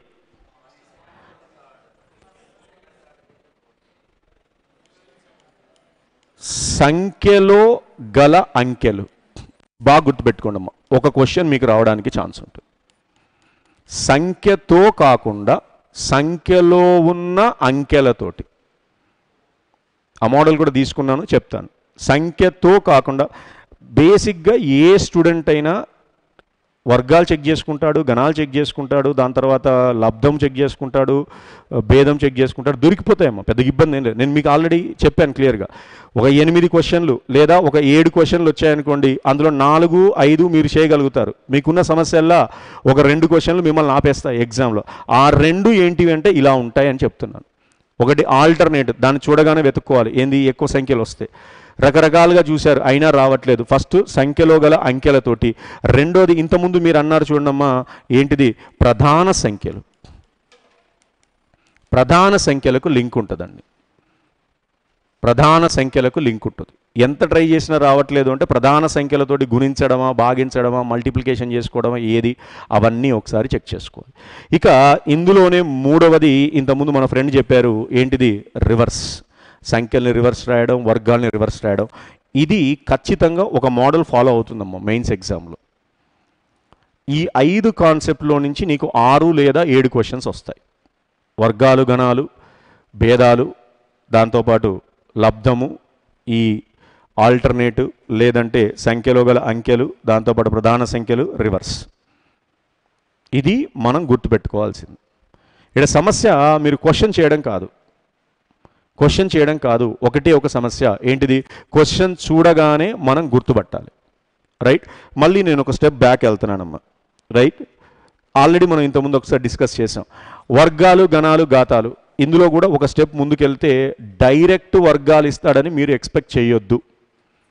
ఖచ్చితమైన వర్గాలు అంటే ఎనిమిది గాతాలు తీసుకుంటానమ్మా ఎనిమిది గణాలు అరవై నాలుగు నూట ఇరవై ఐదు ఇచ్చి డాష్ అనేది అడిగాడు అనుకోండి హ్యాపీ మనకేం ఇబ్బంది లేదు అక్కడికి అయిపోద్ది. Two cube three cube four cube five cube six cube. అది ఒకవేళ ఇచ్చాడు అనుకోండి మనం సేఫ్ సైడ్ టక్కున గుర్తుపడతాం రాసేస్తాం అయిపోద్ది.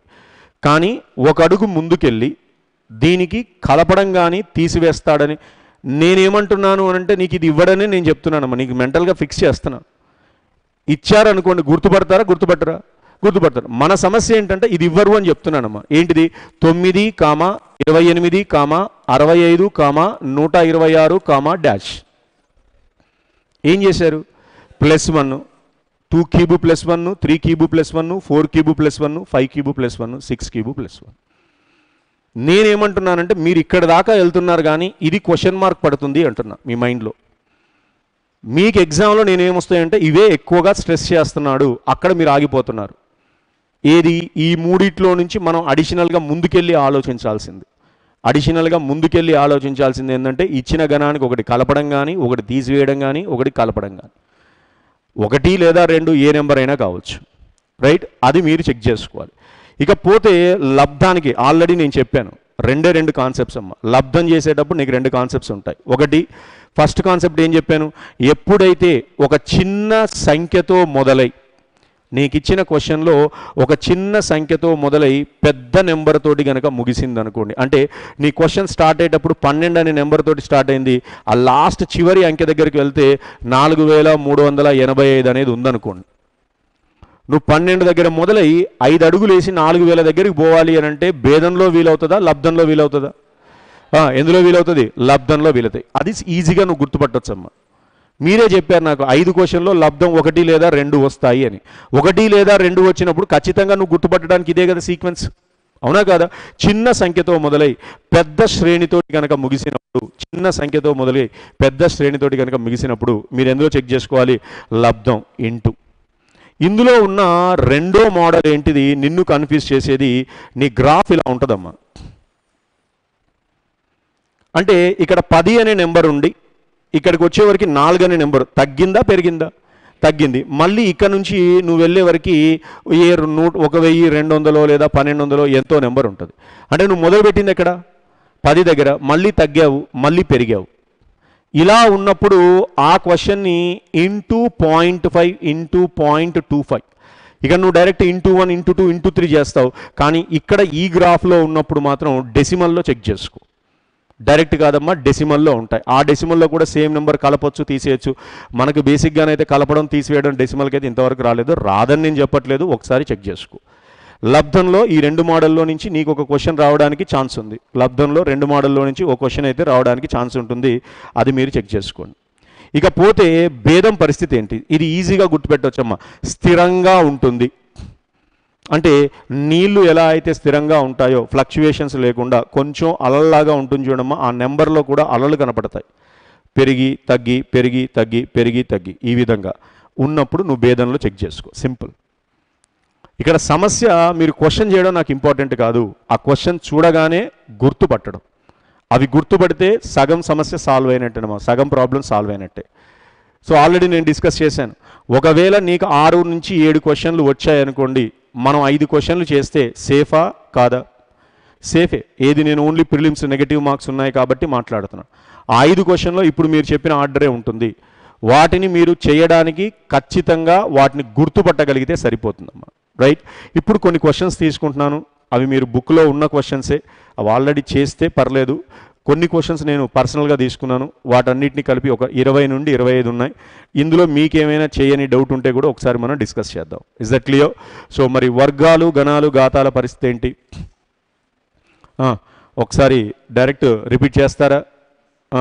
Fourteen square one ninety six eighteen square three twenty four nineteen square three sixty one twenty three square five twenty nine twenty four square five seventy six twenty nine square twenty nine square eight forty one twenty three square twenty three square five twenty nine ten cube thousand eleven cube one three three one fourteen cube two seven two seven double four seventeen cube four nine one three right sixteen cube four zero nine six sixteen cube ఎంత? Four zero nine six కొంచెం వాటిని మనకు ఎగ్జామ్లో ఎట్టి పరిస్థితిలో కూడా ఈ పలానా క్యూబ్ ఎంత అని అడగడమ్మా. గుర్తుపెట్టుకోండి.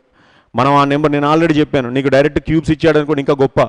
ఆ డైరెక్ట్ క్యూబ్స్ కూడా ఇవ్వడు. దానికి ఒక నెంబర్ని కలపడము తీసివేయడము ఈ విధంగా ఇస్తున్నాడు కాబట్టి ఆ నెంబర్ని చూడగానే అది ఏ గణానికి దగ్గరగా ఉంది ఏ గణానికి దూరంగా ఉందనేది గుర్తుపట్టగలిగితే చాలు. రైట్ సో మనం బిగినింగ్లో ఈ శ్రేణి చెప్పినప్పుడు ఒక టేబుల్ ఇచ్చానమ్మ కంప్లీట్. తొమ్మిది నిలువు వరుసలు పది అడ్డు వరుసలు కంప్లీట్ ఒక టేబుల్ ఇచ్చాను. గుర్తుందా? N n square n cube n square plus n n cube minus n n cube plus n square n cube minus square ఖచ్చితంగా ఒక క్వశ్చన్ వస్తుంది అందులో నుంచి. ఓన్లీ నెంబర్ సిరీస్ అయితే. అదే పోలికలు శ్రేణులు అయితే రెండు క్వశ్చన్స్ వస్తాయి. కాబట్టి ఆ టేబుల్ ఏదైతే ఉందో దాన్ని కూడా జాగ్రత్తగా గమనించండి. రైట్? సో క్వశ్చన్స్ తీసుకుంటున్నాను. వన్ బై వన్ ఒకసారి చెక్ చేయండి. ఏంటండి? బ్రేకా? స్టార్టే చేయలేదు బ్రేక్ అన్నాడు. రైట్. బ్రేక్ తీసుకోండి అమ్మా. రైట్? ఎంత? Fifteen minutes. తొందరగా.